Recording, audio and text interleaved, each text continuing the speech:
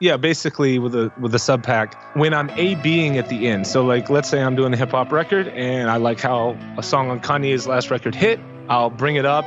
But when you're A being, if you can literally feel the energy of the low end and feel where it's hitting on your back, you can just go in with an EQ and literally just move it around until it feels physically the same as Kanye's last record. That's wild.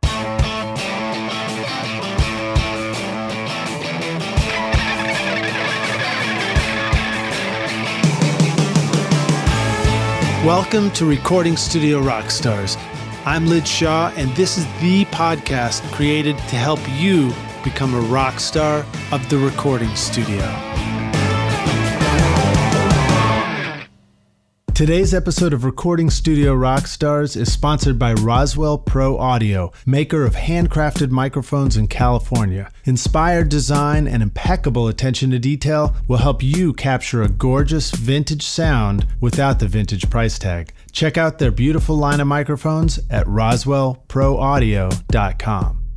You may already know that using true analog gear is one of the best ways to create a great record. Yet increasingly, we live in a digital world, recording and mixing inside the computer. So, what if you could have the best of both worlds?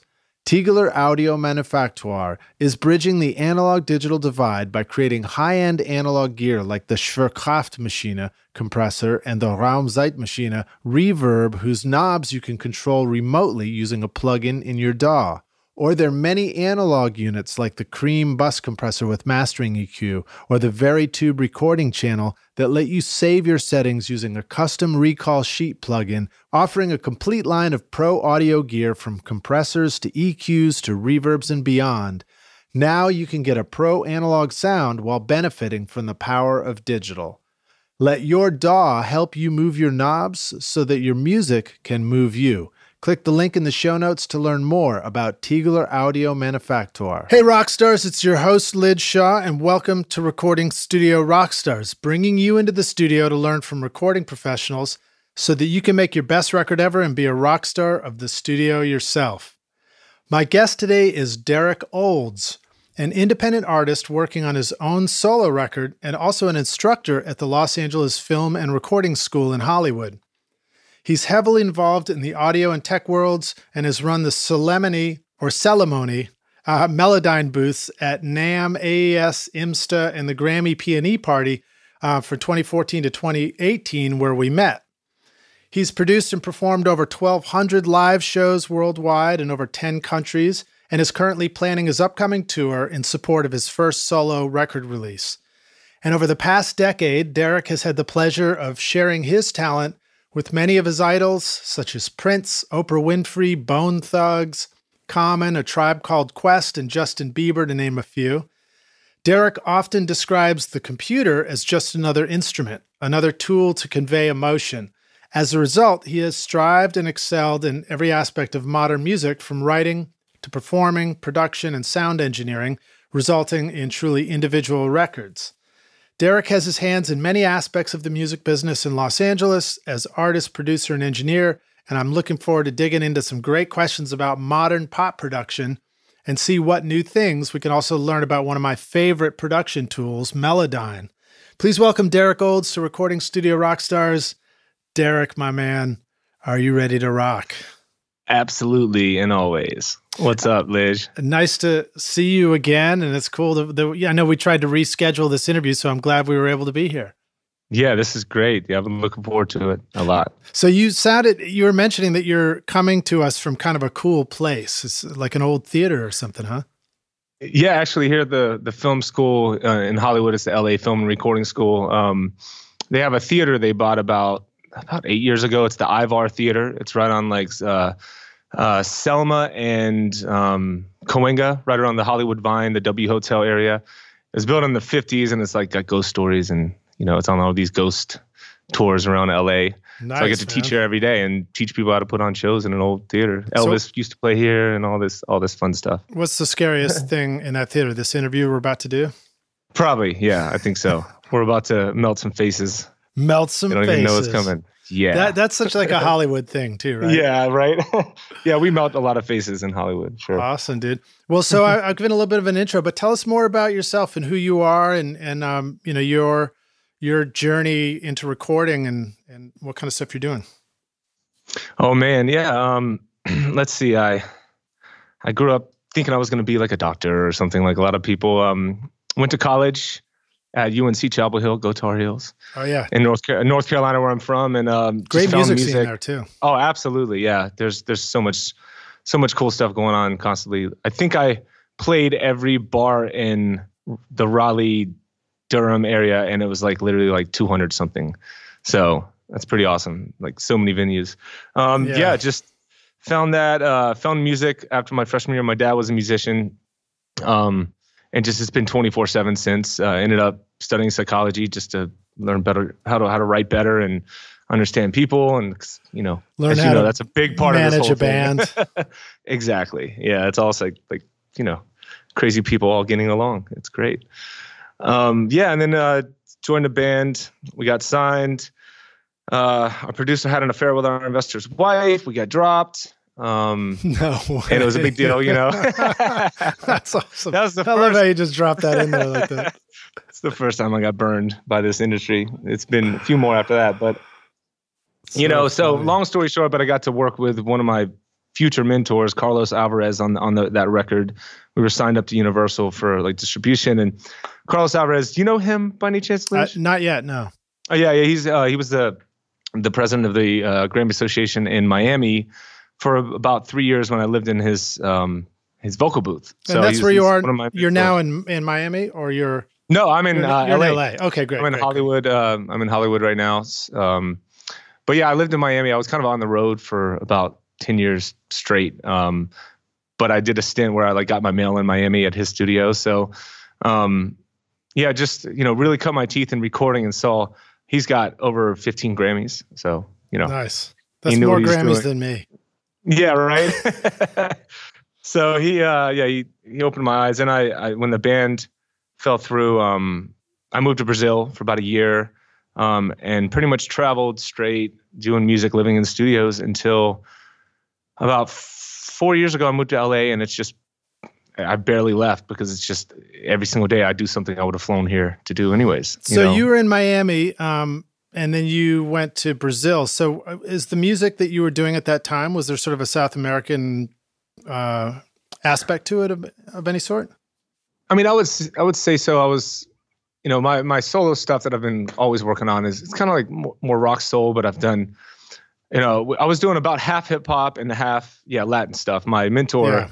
Uh, you know, it was great, huge Latin uh, engineer, mixing, mastering. So I was around that a lot. Uh, but when I went to South America, it was through, um, it was through a piano player that did some session work at that studio, and then we, uh, after the band broke up, I had to, I, I had to like hit the road or something. I became a solo artist because it was just like you know how it is in any band. It's like you're you're married to every person in the band, and then yeah, totally. the breakups really bad. So right. so anyways, I um I had an opportunity to go down there to help uh, produce a samba record, and ended up two weeks turned into two months, turned into a long time, and uh, you know got to really cut my teeth as an artist and as a guitar player. You know, I learned you know, it, like in a country like Brazil. If you're going to be a guitar player when you're 18, you started at three because your parents decided. Wow. You know, in, in a lot of ways. So every musician I was surrounded by was even if they were, you know, 16 years old, they'd been playing for 10 years, and you're like, yeah, I, I have to catch up. so, well, so I really cut my teeth, you know. That's cool, that. and I, and I didn't know I wasn't preparing any questions like that, but it, I'm really intrigued, and I want to, you know, ask yeah. you like, what are some of the things that you felt like you learned about the importance of rhythm and music and stuff through that whole experience? Yeah, I mean, it's you said it. You know, rhythm, rhythm, rhythm. It's kind of like you know, if you're shopping for a house, the location, location, location. I, I really think rhythm. I think that I, I read something somewhere that one percent of humans are rhythm deaf, so they just can't, you know, do do four on the floor, and then five percent of people are tone deaf. That's what I've heard and uh, kind of teach a lot, so I hope it's right. That's awesome. You, um, remember, you remember the jerk, yeah. the jerk, where um, in that movie where he can't tap his foot until he finally can. You know, I guess he was in the one the one percent. I've definitely known Grammy award winning producers that cannot clap on four on the floor. Really? They got Grammys. Yes, I'm not going to mention any names. That's fascinating. You you've run into those people, Lij, that we're just in the right place at the right time and can, you know, you can have a whole career off of one good moment in Yeah. this industry. So Yeah. you might not enjoy the rest of it, but Well, so I mean, we don't have to Yeah. go too far down this rabbit hole, Yeah. but like, do you specifically remember any points where like you had a like an aha moment about the way rhythm went together, or like about a beat that wasn't just the one, two, three, four, and the way it all fit together? Yeah, totally. Um, there was, I, I'd say, a couple. One was, you know, I grew up listening to, you know, heavy rock and you know Zeppelin, Tool, learning how you can write an incredibly catchy and singable melody over a song that's like four four, then six eight, then seven four, then eleven, you know, sixteen, and you know, like Tool and and some bands could move time signatures underneath a crowd singing along like they know every lyric. And that really hit me you know um, with the creativity you can do with time signatures without really messing up the integrity of a real great storytelling experience with a song. But also when i was in brazil you know they they would just have a click on pretty much with everything they did ever. And they never performed with a click but their rehearsal part of it was to lock in their, their bodies. And you know that feeling uh, if you're you know any musician out there click it's just not fun playing to a click at the beginning. And then eventually it kind of like moves from the front of your brain to like feels like it's just slapping you in the back of the head and you don't think about it anymore. It- Mhm. but it's just like this internal i remember when i was in Bra- brazil i was struggling struggling struggling and then all of a sudden it just kind of clicked. And since then it's just you know a click the, has been the a click clicked. No, yeah, you yeah, know, yeah, right no no pun and there's the expression here about you know a drummer. It's like when you're right on, you just bury the click, bury it. So exactly. it like You don't it gets even hear it. buried in the sound because it's so matched up with whatever else is happening. absolutely you don't even hear it at some point Well, very cool. All right, so um, you ended up out in LA. Now you're teaching, uh, you know, audio at the school there. You're making your own record as well. Um, you want to share any stories about that kind of experience, getting into all that? Yeah. Um, God, how did I get into teaching? Uh, part of it is, I, I think starting with like my generation, we, I, I basically have had YouTube since I really started geeking out in life, you know, and I started Yeah. a little late. So, so I could just, you know, the, the rate at which you get used to learning on this planet at this point, like kids these days, just, it's just like, you know, an open floodgate, just, you know, things coming in their brain and, you know, like, like they're two years old until they're 18. There's just so much information coming in. Um, I got so used to that, that, you know, then I started, you know, really cutting my teeth with mentoring, you know, being apprenticeships and all that kind of stuff and just seeing it done in real life. But I, at some point, I felt like I was not learning. I was learning something new and cool, like two things a month, and I was used to 2,000 a day, you know? So um, that's why I got back, you know, really said, how can I keep learning so, you know, as fast as I can? It was, it was teaching. Um, Interesting. the you know so so that's kind of how I got into that and then you know the L, the LA Film School was kind of always my um goal because I lived outside of America for about you know 6 7 years and I came back and I heard LA Film School abroad so I was like that's where I'll teach if I ever know, yeah, totally. Well, so what So- are some of the classes and and um, skills that you're? Is there anything that you're like regularly teaching there, or is it always Yeah, switching up? Totally, totally. No, um, here at the the Ivar Theater, uh, it's basically a, it's an old theater. You know, Elvis used to perform here. Grateful Dead did a live album. Snoop Dogg performed here a lot. It was a strip club for like 20 years. What was the Grateful Dead album? um? It was it was like live at the Ivar. It's all over Okay, YouTube. if- okay, but I'm not sure if it was an official. I don't think it was official release. It was, but it's it was a long time ago. um, yeah, so I teach live production. So basically, live sound, lighting, just putting on a show in a theater. We have a theater to ourselves, so that's kind of cool. And I teach songwriting and like you know um, vocal production. You know, often you know the, Yeah. the mel- stuff. So Very cool. So, uh, hey, just preface this Rockstar's apologies from us uh, if Skype uh, sort of like, you know, sounds a little funny on his voice, but we're just going to hang in there and power through. Oh, Um, okay, yeah, it's the theater. I'm Yeah, you- sorry. what can you do, man? It's we're we're in we're it's the internet, you know. Internet's from the it's from the 50s too. So right on. Right. Um, okay, so uh, let's uh, let's jump forward a little bit too, because um, you know one of the things that I met you around was Melodyne. Um, I believe was it at, at uh, Na- the NAMM show. Um, yeah, yeah, this year. Yeah, and so um, I love using Melodyne, and I, I think it is a really powerful tool. And I'm excited to talk to you about some of the uh, extra stuff it might do. You know, thinking outside of the box for all of us. Great. But um, but you know, like when you um are going into songwriting and stuff, I mean, Melodyne's a great tool, but I imagine maybe you start out in a in a different DAW. Um, I don't know if you. I know Melodyne can act as a DAW itself, but do you like to approach songwriting for your music um, using Pro Tools or Logic or one of those kind of things?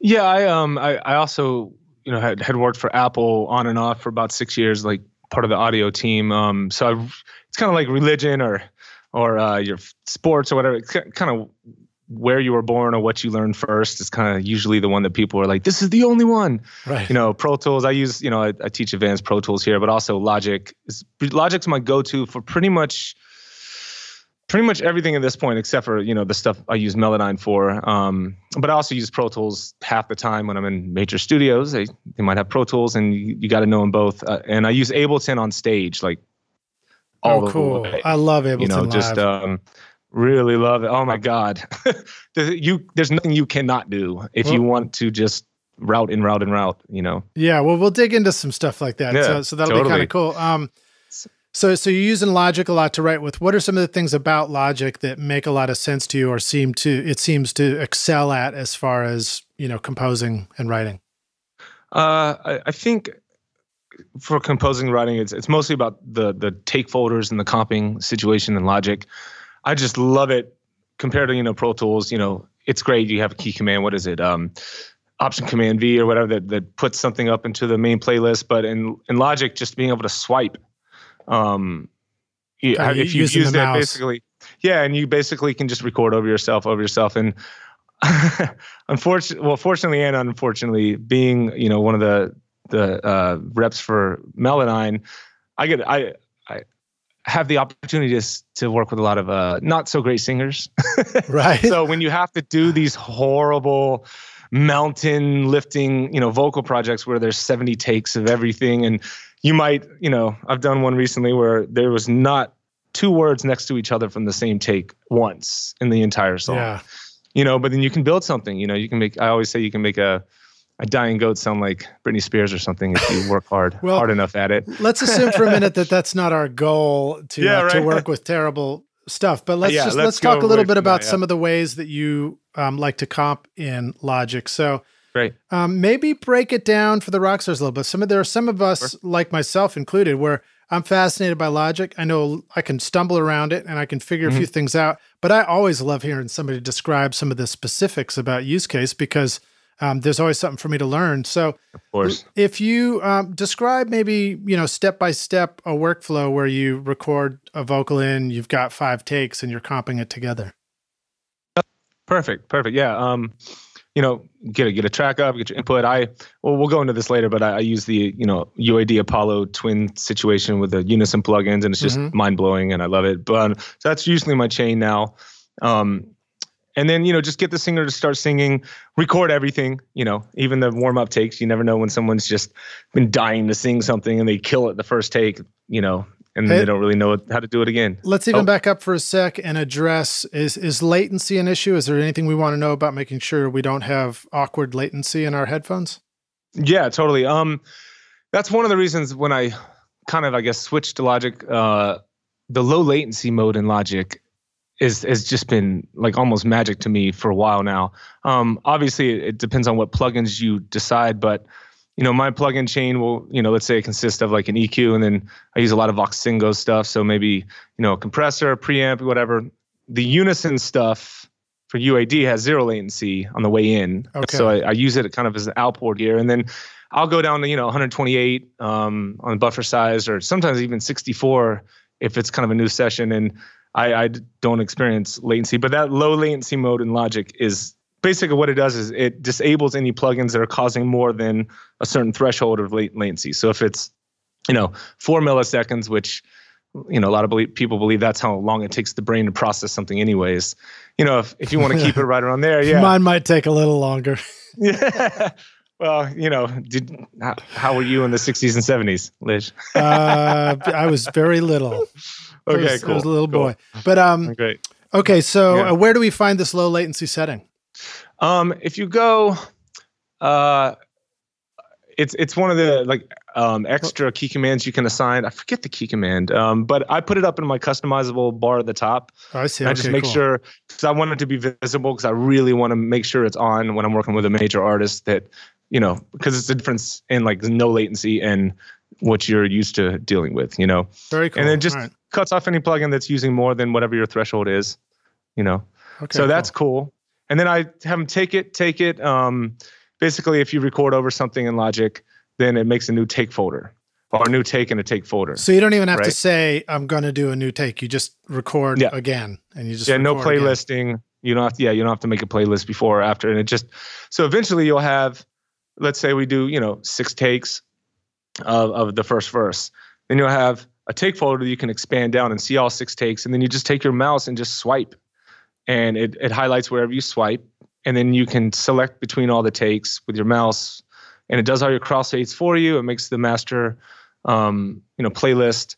Um, now the cool thing, and this this was a big announcement at at NAMM for Melodyne, was that um, we are we've been working with Apple um, over the past couple years to incorporate it with ARA, the um, audio random access, which everyone's using now. Basically, it allows you know uh, plugin developer developers and, and DAW developers to interact with each other and, and Mhm. all around in kind of, all kinds of ways and send audio uh, through the sound card. So um, now Melodyne is going to work without having to transfer things in, kind of like Stu- Studio One in a Mhm. way. Studio One's completely integrated, but now while you're doing take folders in Logic, you'll be able to Melodyne each take, timing, pitch, the whole nine yards as you're comping. So you don't you no longer have to make that decision. Okay, this is a, a awesome take with emotion, but it's it's pitchy. And then here's a perfect take without emotion. Uh, you know, before you had to decide which one, like, is the bad one too bad to fix? hmm and we all know that feeling. It's like, dang, you know. So now you can fix it as you go. So then you swipe after that, and and you've already comped and tuned just once as you go. So I'm really like, Very cool. it's going to so, save me thousands of hours. so I can stay inside the DAW, and then I can just selectively tune one note within my session. Whereas the way I, the way I've been working, if I'm in Pro Tools, is I will. I've I just felt like it was easier to navigate if I was inside the Melodyne Studio app, and I would Mhm. export all my consolidated vocal tracks from from top to bottom, and the mix on a separate stereo track. Import those all into Melodyne and start working there, and then export all those and bring them back into Pro Tools. So I don't really have to do all that stuff, at least if I'm in Logic.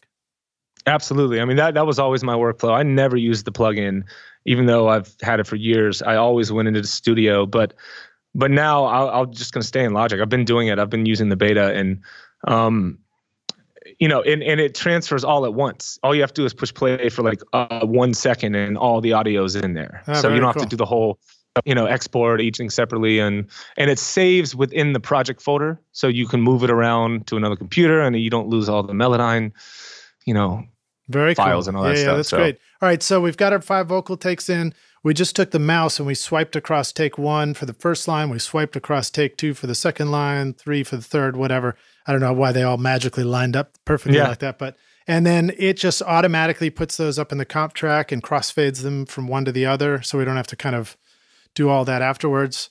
yep Um, Yep. Where, where, uh, just, just generally describe where that melodyne is applied, or where we're sort of pulling that up and tuning the vocal on one. Of, you know, we let's say we had to just tune the third line there.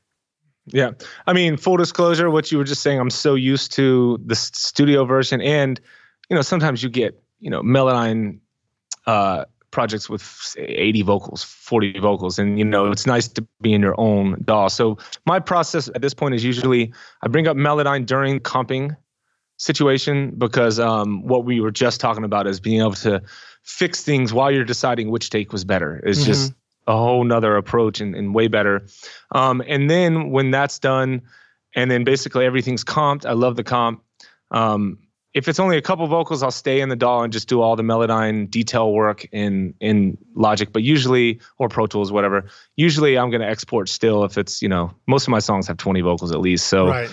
then you know you can do all this in the plugin version now but i really it, it's a whole different story when you can you know let's say teen, uh, tune the lead and you're doing a double you get the lead perfect timing pitch everything's perfect and then to be able to see that in gray and then start working on the second one, and as you do harmonies, just to really be able to time it up and get that that um that super modern pop. I mean, a secret a lot of people don't understand. I think is a lot of these a lot of the the modern pop stuff. You'll you'll have a lead vocal, they'll sing it through, and then they'll aside from the harmonies that are going to make the record, they'll do all these harmonies in the studio. And then someone will go into Melodyne and line them up so perfectly, all the S's and T's and P's and every word's exactly the same. And then they they'll tuck three or four of those harmonies way down in the lead vocals. So like Justin Timberlake's a great example. He has so many overtones in his records coming out of his voice. You're like, is that possible? Is that humanly possible? Yeah. Some of that is tucked down harmonies that are so well lined up that you can't tell they're different from the lead. You know, that's so cool, man. And cool I love trick, hearing yeah. you describe that like that. And I and it's great to get like kind of get that insight because sometimes we we sense it on the yeah the final mix, but you can't. It's like you can't know exactly what's happening there. You just know that it sounds better yeah. than what you're doing. You know. Yeah. And and so to get that that you know peek behind the curtain and know that there's all these stacks of things happening that are tucked in and blended, so that they don't so that you don't ever hear them stick out. You're really just always focused as if it was a lead vocal. That's definitely yeah. a cool thing that Melodyne will let you do because you can manipulate anything. Yeah, and you can just you can perfect it to the point. I mean, you can spend 80 hours on on one vocal if you want because you can just keep going and cutting it up into smaller and smaller pieces and really rebuild stuff. Yeah. Um, another another funny secret. I, am not going to mention any names, but um, I know this big vocal producer worked with a lot of big people, and he was telling me that he's definitely been on sessions where, like, you'll be expecting like a certain artist, and then somebody of a totally different race will, you know, in, in age and everything will walk in, and they sound just like that artist, and they literally are singing for the artist. That broke my heart. I never heard of that until oh, in a studio six months ago in the studio. Oh so my goodness. I'm not going to name any names because that would be NDA uh, nightmare. Yeah, we don't but, need to uh, talk about Milli Vanilli. Yeah, exactly. yeah, right. But no, having just yeah, kidding. just like that situation, but like in, like reference vocals, reference vocalists. You know, there are full time Beyonce reference vocalists in this world that know how to sing like her, and right. that's their job, and they're amazing at it. You know, not her. My God, not her. She's right. I'm not. not but her. no, on a certain level, especially but, um, when you get into the live production, I, I learned that you know at some point about when you have these huge productions on stage, you've got a an artist who has to sing this lead vocal that's intense like the record, but they also have to yeah. dance all over the place. Exactly. And so you you have to have somebody else who sings along with them and like supports their voice and just yep. keeps that vocal sounding right on. Yeah. Or takes over when they have to do a big dance and they'll mute it for 13 seconds and come back so the artist can say, What hello, Seattle, you know? Right. That's oh, a yeah. trip. That's wild. yeah. Um, okay, cool. So uh let's let's talk about that a little bit more. So, Rockstars, if you haven't used something like Melodyne, Melodyne is the one where you've got these blobs uh, that represent your vocal notes, and you can move them up and down in pitch. You can stretch them out. You can you know make it change the timing. You can kind of go in and find different syllables. Um, let's talk about some of these specifics, and I'll I'll ask the questions from the things that I'm used to doing and maybe Great. find challenging, and you might have some tips. So, for example, you've got the um, it's nice that now they've got some color variation. So it used to be that your lead vocal and the double of that lead vocal, like every every vocal that was in your Melodyne studio session was the same color. And I think now you've got like the one you're working on is colored, but the ones that you're not yeah. working on are grayed out. Yeah. Right. so that's yeah. helpful because then you can sort of see what's what. Um, are there some tricks for dividing up the syllables in a word and moving the different parts of the word around so that they sort of line up with your double? Yeah, um usually I end up doing most of the the timing manually even though there are some tricks it's just such a you know timing is e- easily the most time consuming and hard most difficult part of melodyning mm-hmm. because it's so subjective and like how do you make someone that's rushing just a little bit and there's six words involved you have to nudge them all just right so it still sounds human you know um, but uh, there are some tricks. Um, you can use it's kind of like a side chain where you can be tuning one vocal and then do a key input on the side for quantize. If you go to, to the quantize macro, mm-hmm. um, then you can uh, you can make another vocal as your key input. So it'll look for transients and try to line it up.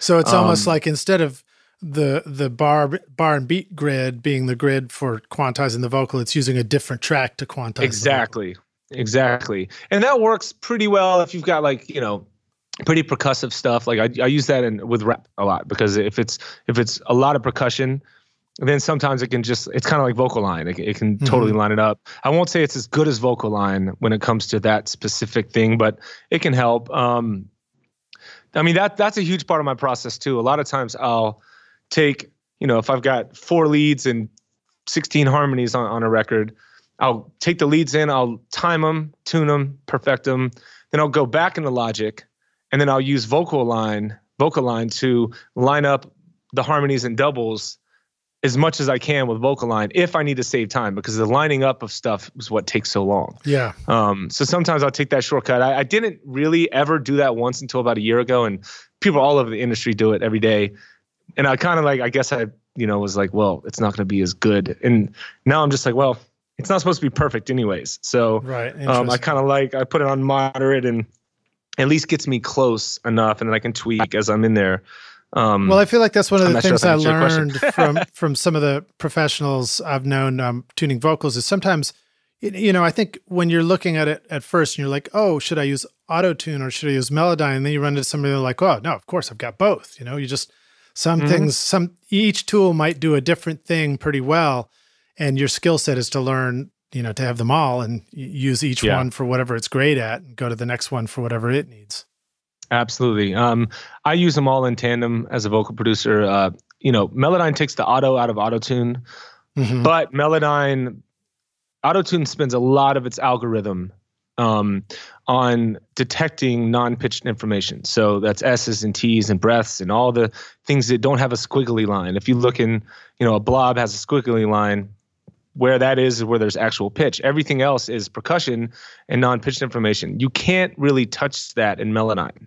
Right. If you try and tune an S, it sounds robotic. And 90% of the time when someone says Melodyne sounds really bad, it's like, well, I promise this is what you're doing. This is what you. And I, I, um, we've actually asked Peter Neubäcker, the uh, mm-hmm. the genius that makes yeah. that makes Melodyne. Um, yeah, if anyone wants to learn about music's role on this in this universe watch that 30 minute documentary of the guy who created uh, Melodyne. It, will blow your mind. I've watched it like eight times. It's just, you know, a lot of great quotes and stuff. Um, Very cool. But yeah, so um, AutoTune uses a lot of its algorithm to, in real time, you know, with a, what, 10 millisecond buffer, it has to decide what is pitch and what's not. So it uses a lot of its algorithm to do that, which it does it amazingly in real time. It's incredible. Melodyne, you have to push stop. So you don't tune the S's and T's, but then the algorithm is way more complicated when it comes to the actual pitching and tuning and timing. So you know that's why why it sounds so good. Yeah. Well, and Melodyne so, allows you to to manipulate things so well. And I, I find once I got into yeah. the studio version of it, the reason I like using studio is because I can fly around. Because yeah. like once you learn how to navigate in it, you've got all your vocals that you're working on all together. You can hear the harmonies happen as they're happening. You can turn them on, turn them off, and I'm I'm still using a little bit of an older version, so I don't I'm not hip to all the newest stuff that's come along. But um, mm-hmm. but it's that's the part that I found really useful is hearing things and being able to tell. Um, sometimes I found also that I, it wasn't until I got it these vocals back into the mix that that certain things yeah, were really highlighted. Totally. Too. So that's a little tricky, and I think that's what's cool about using the plugin is if you're doing a bunch of additional um, treatment of compression and things like that, you're mm-hmm. going to hear all that effect when you're manipulating totally. the plugin, and you might like it might really highlight timing issues that are hidden if you're just listening without all the extra compression. Now, what's crazy about um, exactly what you just said? Now the plugin version, the new version that's coming out, I'm not sure when it hits. It's any time now. I'm not going to officially say anything, but um, uh, it um, it the plugin version you literally can full screen your Melodyne any instance. Let's say you have it on 30 tracks in Pro Tools. You can open or uh, let's talk about Logic because it's integrated now. Yeah. You can open one of them and all of them are there. So you can full screen it and it literally feels exactly like the DAW. They even oh, gave that's great. Apple even gave um, Celemony permission to take over the key commands when it's up front. Uh, so Melodyne cool. key co- key commands work now full on, just like Studio. When it's up front, when you close the window, you go back to the Logic key command. So um, it is kind of merging those worlds and I think I'm just, you know, a, an old mule kind of, you know, I really should just be not using the studio at all. well, it's all right. I mean, that's part of what, uh, you know, I think that's yeah. part of what we do as professionals or, you know, as, as users is like, once you learn how to use a tool, the more valuable yeah. thing is your ability to use it well than like, it's even better to have something with less features that you just simply are quick on Absolutely. than to have the newest features. So it, that's why it takes us a minute to switch over to the new thing. Um, so no worries, but that's really exciting, and and I will definitely be excited to be getting into mm-hmm. that. Um, I have some questions about Logic I want to ask you, and then I want to ask you more questions about Melodyne. Because um, you you brought up key commands, and key commands are an important part of my workflow. I've learned that uh, I use a trackball, so the less I can take my hand off the trackball, or the less mouse yeah. movement stuff I have to do, and the more quick keys I can do, the faster I work. Mm-hmm. So, what are some uh, key commands as far as navigating in Logic that you think you use a lot? Um, do uh, I, I, still don't even know the key commands for basic things like zooming in and out and stuff like that.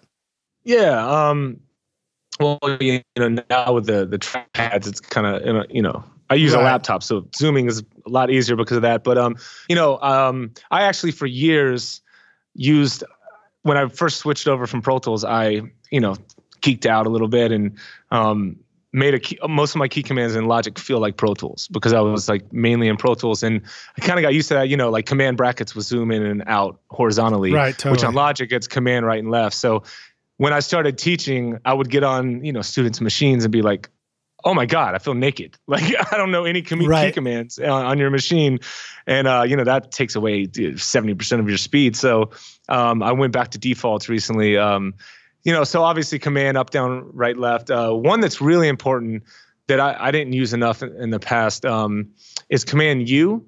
Basically, uh, command U, um, I forget what it is actually. It basically puts the bracket, brackets, um, the loop right around the, whatever region you have selected. Okay. Um, I'm not sure if that's a default one or one you have to plan, but that's kind of like in like Ableton when you if you you can select a region and push play, and no matter what, you know it's going to loop whatever you just highlighted. Oh, um, cool.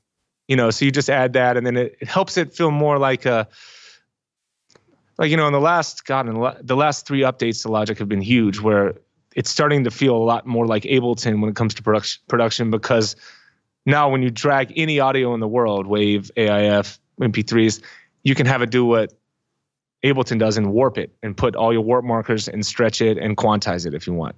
That's so cool. all your samples, um, you know, and then and then you can do pitch now like in Ableton. So, um, so so you have yeah. experience in different DAWs. Maybe you can talk a little bit about just like eh, what tips do you have for us as far as that huge challenge of making the transition? Because I totally experienced that thing you described where you're like, I know how to do this in Pro Tools. I go to Logic and I'm on a different one, and I feel like i am back in kindergarten, and I don't know, I know the, English, the English language. So, how, so how did you get past those barriers? What are some tips for that that challenge?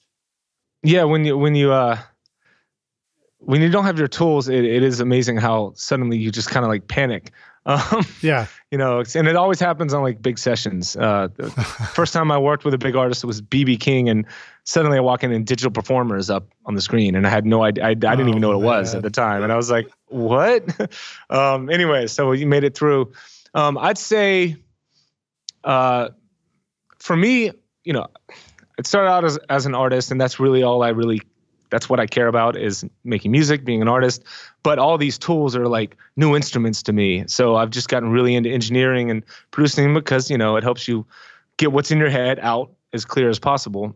Um, the the more if you understand a tool, then it's it doesn't matter what DAW. It's like if you know uh, an SSL through and out, you can learn Neve pretty easily because you know the concepts. You know, if you right, understand the right. concepts. So that's one of those things. You know, I think I learned a lot doing live sound. Like I've since I moved to LA in four and a half years, four years I've done over 500 live sound gigs. You know, so I'm constantly having to just like walk up to a new board and be like, oh my god, what is this? You uh, you need to know where your your uh, routing is, where your how to send to buses, how to do delay sends and returns, um, how to engage inserts. Yeah. And once you're there, you're like you're pretty pretty much know any board if you know those things. Same with the DAWs. Like once you get routing, I would start. I mean, routing is everything. You start with routing. Um, just like they say, signal flow is you know the first thing you think about anytime there's a, a problem. Um, Ableton was hard for me actually because I, I went from Pro Tools to Logic pretty easily. It's just learning new key commands. Logic has a lot more bells and whistles than than Pro Tools. Pro Tools feels more like a board, you know, right. to me. Um, but Pro Tools but has a just, lot of preferences like hidden that will do yeah, yeah. some fancy stuff that you don't even exactly. need to think about until you're getting into advanced levels, you know.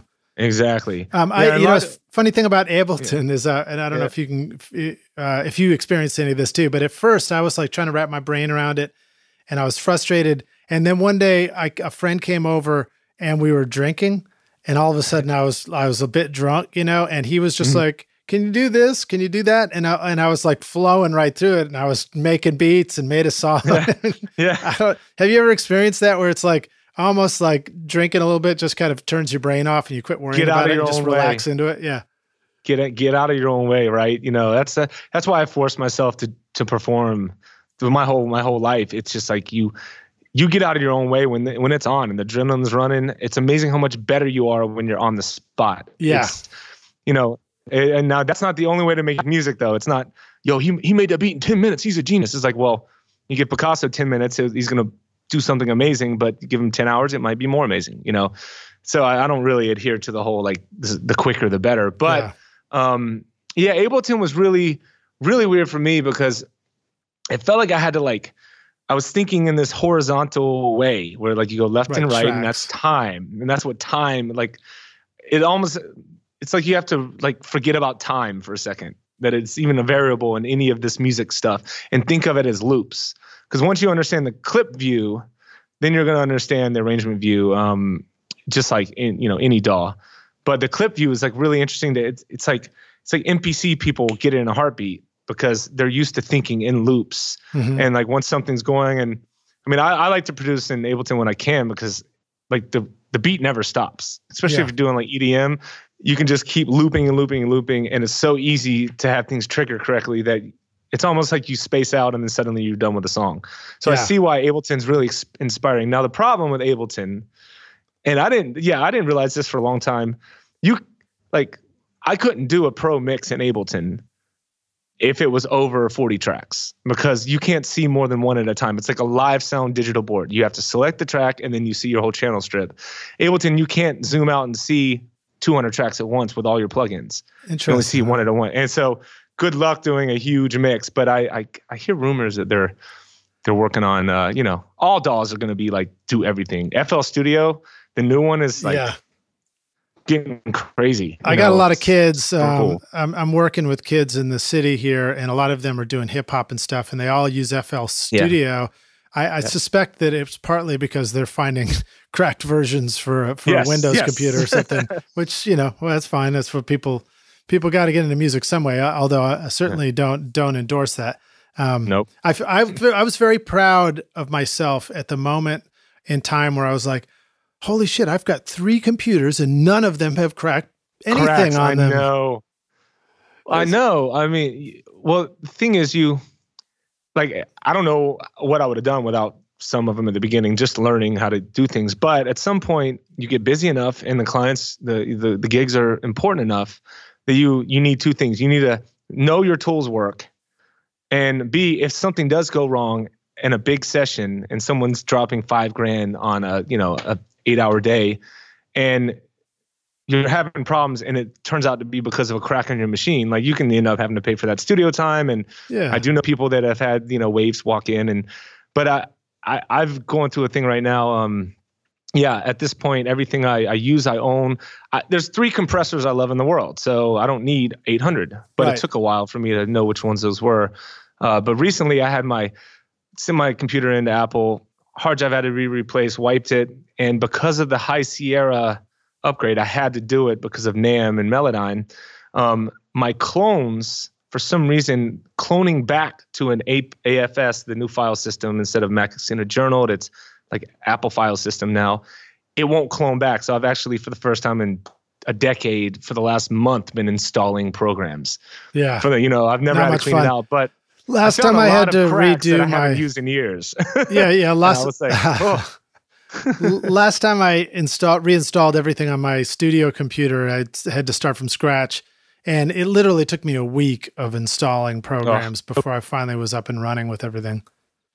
Absolutely. So I totally it's understand that. But the will, last last comment about cracks is I think the other thing that happens is you begin to meet the people who make the tools that you yes. use, and you realize you're like, holy shit, these are all real people just like me yes. who are really working Absolutely. as hard as I am to try and make great music and and help us make great records. So that was great a real eye opener for point. me, you know. Yeah, it's so true. You go to a place like NAMM, you see these these people that are so so passionate about basically providing us with the gear we need to make the art that makes this planet move you know yeah um, they are that passionate about that that goal to give us the best tools to make the best art. It's really awesome and i love i love the trade shows. It's just like a big like nerd family. It's great. Totally man. All right so let me go back to Melodyne for a sec. Here's a thing that i find myself doing that is one of the challenges. I have one vocal line that slides from one note down to another. And now I'm trying to match on the double, uh, either tune the vocal so that the slide is right or match it. Um, what are some things that you might do? What advice do you have about um, uh, controlling or manipulating the slide between notes so that it totally. doesn't, you don't get something weird? Absolutely. You know, obviously, a huge part of, of Melodyne is uh, transitions between notes, obviously. Yeah. So, yeah, I mean that that's always a, a tough one. Um, but there are definitely some tricks. So uh, first of all, you have your there's a difference between your um, uh, pitch modulation and pitch drift tools. There's two different ones. I'm not yeah. sure if you know the difference, but right under if you click and hold on the um, pitch tool, then there's two that come down. The pitch modulation tool is the one that basically gets rid of vibrato or mm-hmm. increases. So just the just the uh, volume side of things. Um, uh, and and the pitch just just vibrato, right? Yeah. And then and then there's pitch drift, which within a given blog blob from the beginning to the end, it basically takes the average of the whole thing and tries to smooth it out, um, almost like uh, if you're trying to tune a room and you're removing the bad frequencies and boosting the ones that are being canceled out to get an even flat situation at the end. Um, right. Well, it's so, kind of like it's kind of like um, you know if if you're holding a long note there might be vibrato going up and down, but at the beginning you might kind of go a little flat on the note, and near the end you might go a little sharp on the note, even with that vibrato in there. And, and I feel exactly. like the pitch drift kind of brings up the flat towards the note, brings the sharp back down towards the yeah. note as well. Absolutely, it's kind of balance balances the whole ship, you know. So those are two tools. Now I will go on and say that I I barely ever ever ever use pitch modulation anymore. And I know a lot of Melodyne engineers that rarely go for it because obviously a lot of the emotional delivery of a vocal is in the vibrato. You right. know, so I prefer so let's go back to the, you know, two notes uh, sloping down to the next note and then you're trying to double that. Um, first of all, obviously line the notes up. Uh, if you hold down option at any point near the end of a blob, near any either the beginning or end edge, it'll let you basically grab the timing tool and be free with it. So hold down option at the edge, and then you, that's basically how you can move the timing. Um, get those perfectly, and then you can use so any of the pitch tools. If you go to them, you bring up these little yellow transition lines. Mm-hmm. It's like a little handle that lets you either smooth it out so it's like a smooth transition between notes, or if you go all the way the other direction, it sounds like auto tune, where it's just you know perpendicular from one note to the next, mm-hmm. you know, a natural. So you match that as close as you can. Get the blob at the beginning and the end of the next note about the same. Match it, and then I will start cutting it up. Okay. So cool. take the non-pitched information, so or or the slope down, the big long slope slope down. Make sure you have you know the previous note and the note you want to go to cut it where you want that to be perfectly in tune beginning and end and then cut it up and then start just massaging the note separations and you know option grab a, a, a, a blob to move it up and down and just kind of start visualizing it and massaging it. Eventually, it'll get there and it'll sound great. So that's why like, I take so long long to do. Right, because so, so many little things you can do. So yeah. so I, if I'm visualizing this right, it, it you'd have this uh, the first note is at one pitch and the second note is at a lower pitch and we're talking about the sloping transition between you know like ah uh, that kind of how'd you like that? Uh, yeah, so we're great. talking about the uh, the slope down from one note to the other. So you would you did all these things initially to get it pretty good with sort of the um, the pitch tools and the the pitch handle tool for the smooth transition, but then you might um, do the note separation tool and chop the beginning of where it starts sliding down and chop the beginning of the lower note mm-hmm. where the slide is finished sliding and then yep. and then sometimes I find myself sort of chopping up that slide note into a few different segments so exactly. that I can kind of move them up and down a little bit. And you see the pitch line going through there, and you're just sort of shoving the pitch line yeah. around a little bit that way. And then you use the pitch drift tool on each one of those, like let's call them steps. Let's say you you take that that slope and cut it into five pieces. Then you have five little steps, right? Well, each one of those steps can be kind of close to where the the original take is, but then you can take the pitch drift tool and make it more of a slope or less per step. So you can really, if someone has like a, uh, uh, and they do like a little, you know, vocal tar- trill or Tarzan mistake. of the jungle thing. Yeah, there. exactly. so you could literally take that, cut that out, bring it down, and then ma- massage the handles for the transition and the pitch drift within the body of the of the note. Yeah. And then, you know, you can really massage it, you know, all the way down. A lot of so. massaging going on. Yes, yes. Um, you know, one of the things that pops into my mind too is uh, a very cool aspect of learning how to use Melodyne and tuning vocals. Um, and this reminds me, I, I, did an interview with Ryan Hewitt, and he was talking about the power of like learning piano, and all of a sudden you have this understanding of harmony on the music you're producing. Yeah. For me, Melodyne and learning how to use that gave me a huge amount of insight into understanding pitch of vocals. And Absolutely. and like you discover you're like you discover all these places that the vocal's going that are totally not in the key or like hitting the wrong notes and stuff like that that you might yeah. have just kind of blown off before or not not even paid attention to. Absolutely. No, I I um I took one vocal lesson in my life um, just to learn how to breathe, but the rest I learned through Melodyne. Um, even my music theory, so much of it, because if you spend a lot of time in a certain key thinking about those notes, then eventually you you start to realize, wait, I know seven keys in my head just because I've spent hundreds of hours tuning in that key for this one song or something. So yeah, Melodyne is an amazing teaching tool, and it's not just for vocals. I literally I see it as a magic wand. You know, we haven't even gotten into the new stuff like the harmonics. For the first time in history, we can touch all the partials up to like the 400th partial of any sound. We'll get into that stuff later. It's insane. It's all about but massaging yeah, and touching. I know. You know, I do have I do have a hard time teaching audio without um, a lot of that's what she said. Like every every, every line is that's what she said.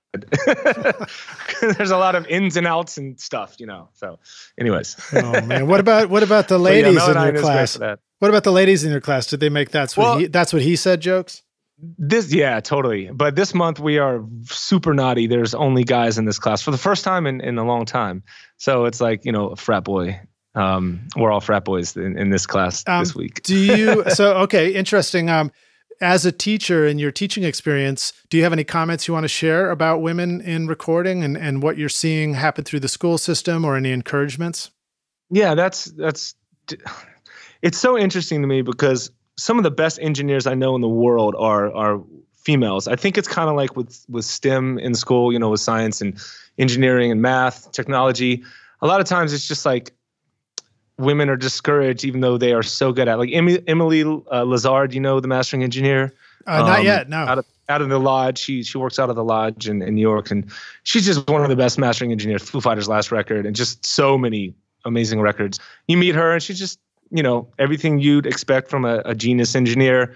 Um, I do see in the schools here, usually the the girls that, that come to like you know this is you know one of the top audio colleges in the nation they come here because they know they know what they want. You yeah. know, they get here and they are rock stars at this school. You know, uh, I've got a girl in my class right now. She's she's running lights right now, and she didn't know how to do lights. It's a big, you know, Martin board with, you know, it's lights are a whole different story. She read the manual during after class one day, and now she's running it cool. for the show tonight. You know, and she also plays bass and guitar and drums and engineers, and so um, I do. It it is a lot heavier on the you know male enrollment, but um, I feel like uh, but half the guys like don't know what they're there for. exactly. We need to really encourage it because, uh, and when, all, all the women out there, if you are great at what you do, you're also beautiful and you have a leg up, I swear to God, on all of us men. So don't stop. nice, nice. Well, I've had some uh, really inspiring women on the podcast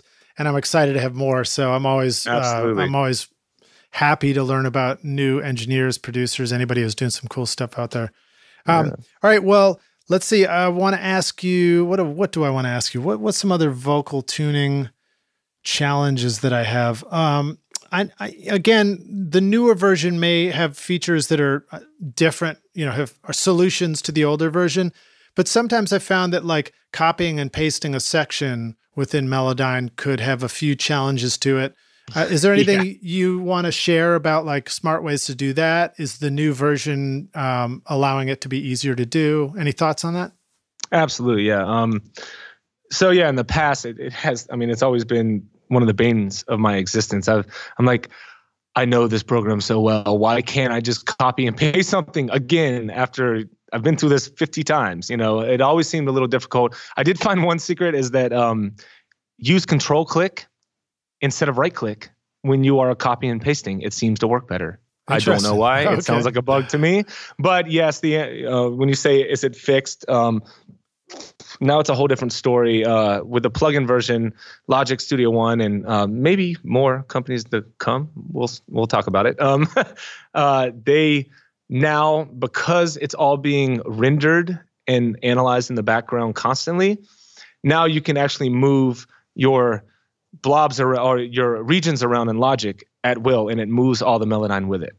So you oh, can copy great. and paste. Uh, that, that changes everything. Obviously, that's oh, that was always a nightmare to be like to tune one thing and then you realize you can't tune the other. You're hearing the original of the other, or blah blah blah. It just got really complicated. Well, were, but now it's it's going to be all free. There were so many times where I had already copied and pasted in Pro Tools, and now it was in Logic, and I was like, yeah. I'll just tune it again. You know, and that's like to yeah. keep tuning the same section over over and over. As uh, I mean, I said Logic, I meant Melodyne. Sorry, I kept yeah. tuning the same section over and over again.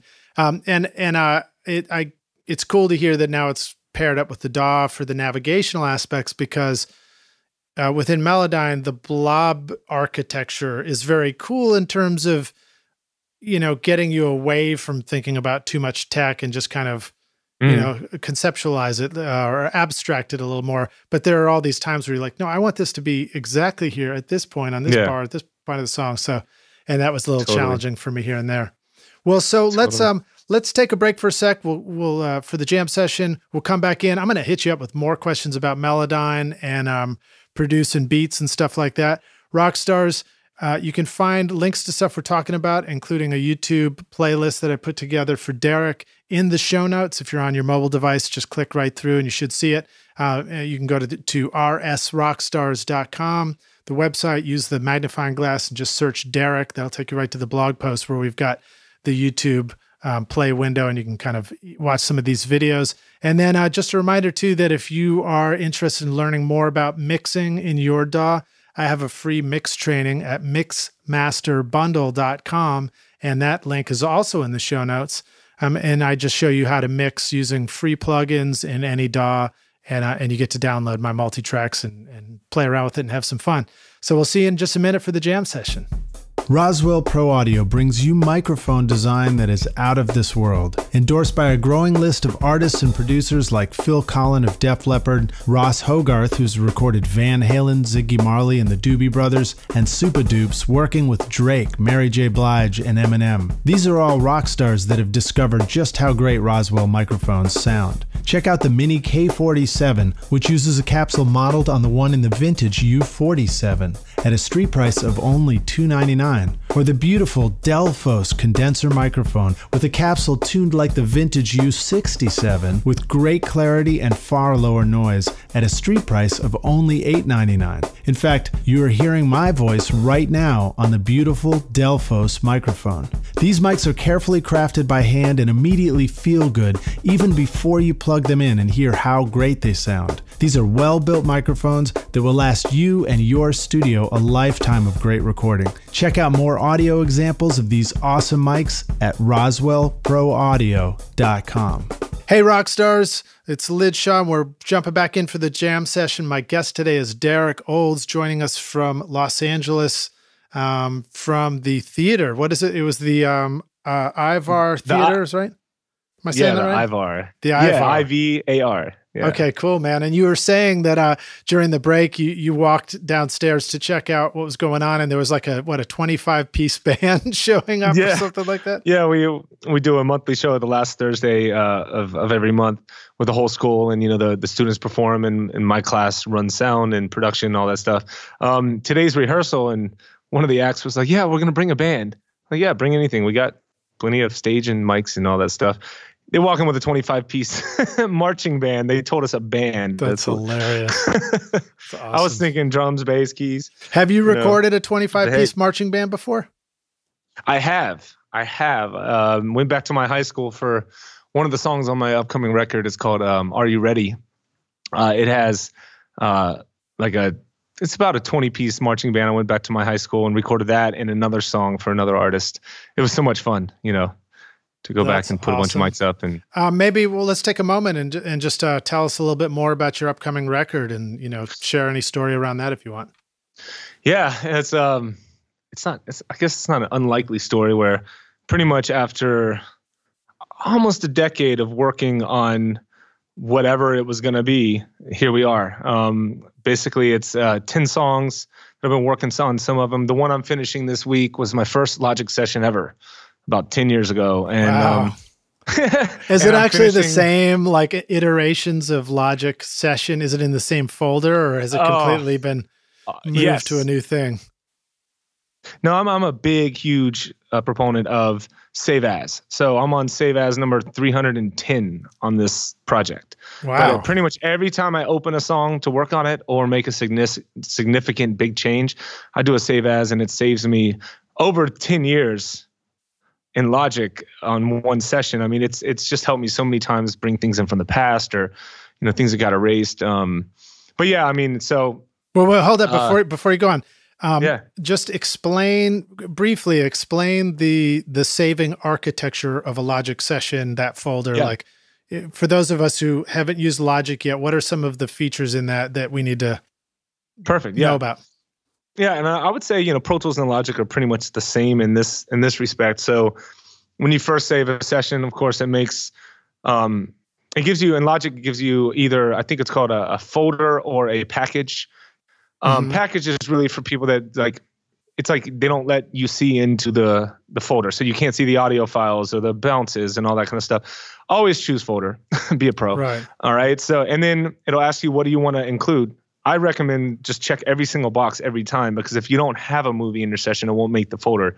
But if you happen to, you know, do that. So then it makes an audio files folder, a um, uh, a bounces folder, fade files folder if it needs it, different sampler instruments, you know, all kinds of stuff. But one, th- but it makes your first project folder, project file. So you have your session folder, your project file. The project file file is like a snapshot of where the session is at. So I'll So, so project file is like a Pro Tools session file. It's the same concept. Yes, exactly. Same exact thing. Yeah, yeah. So um, let's say someone sends me some, uh, a project to mix.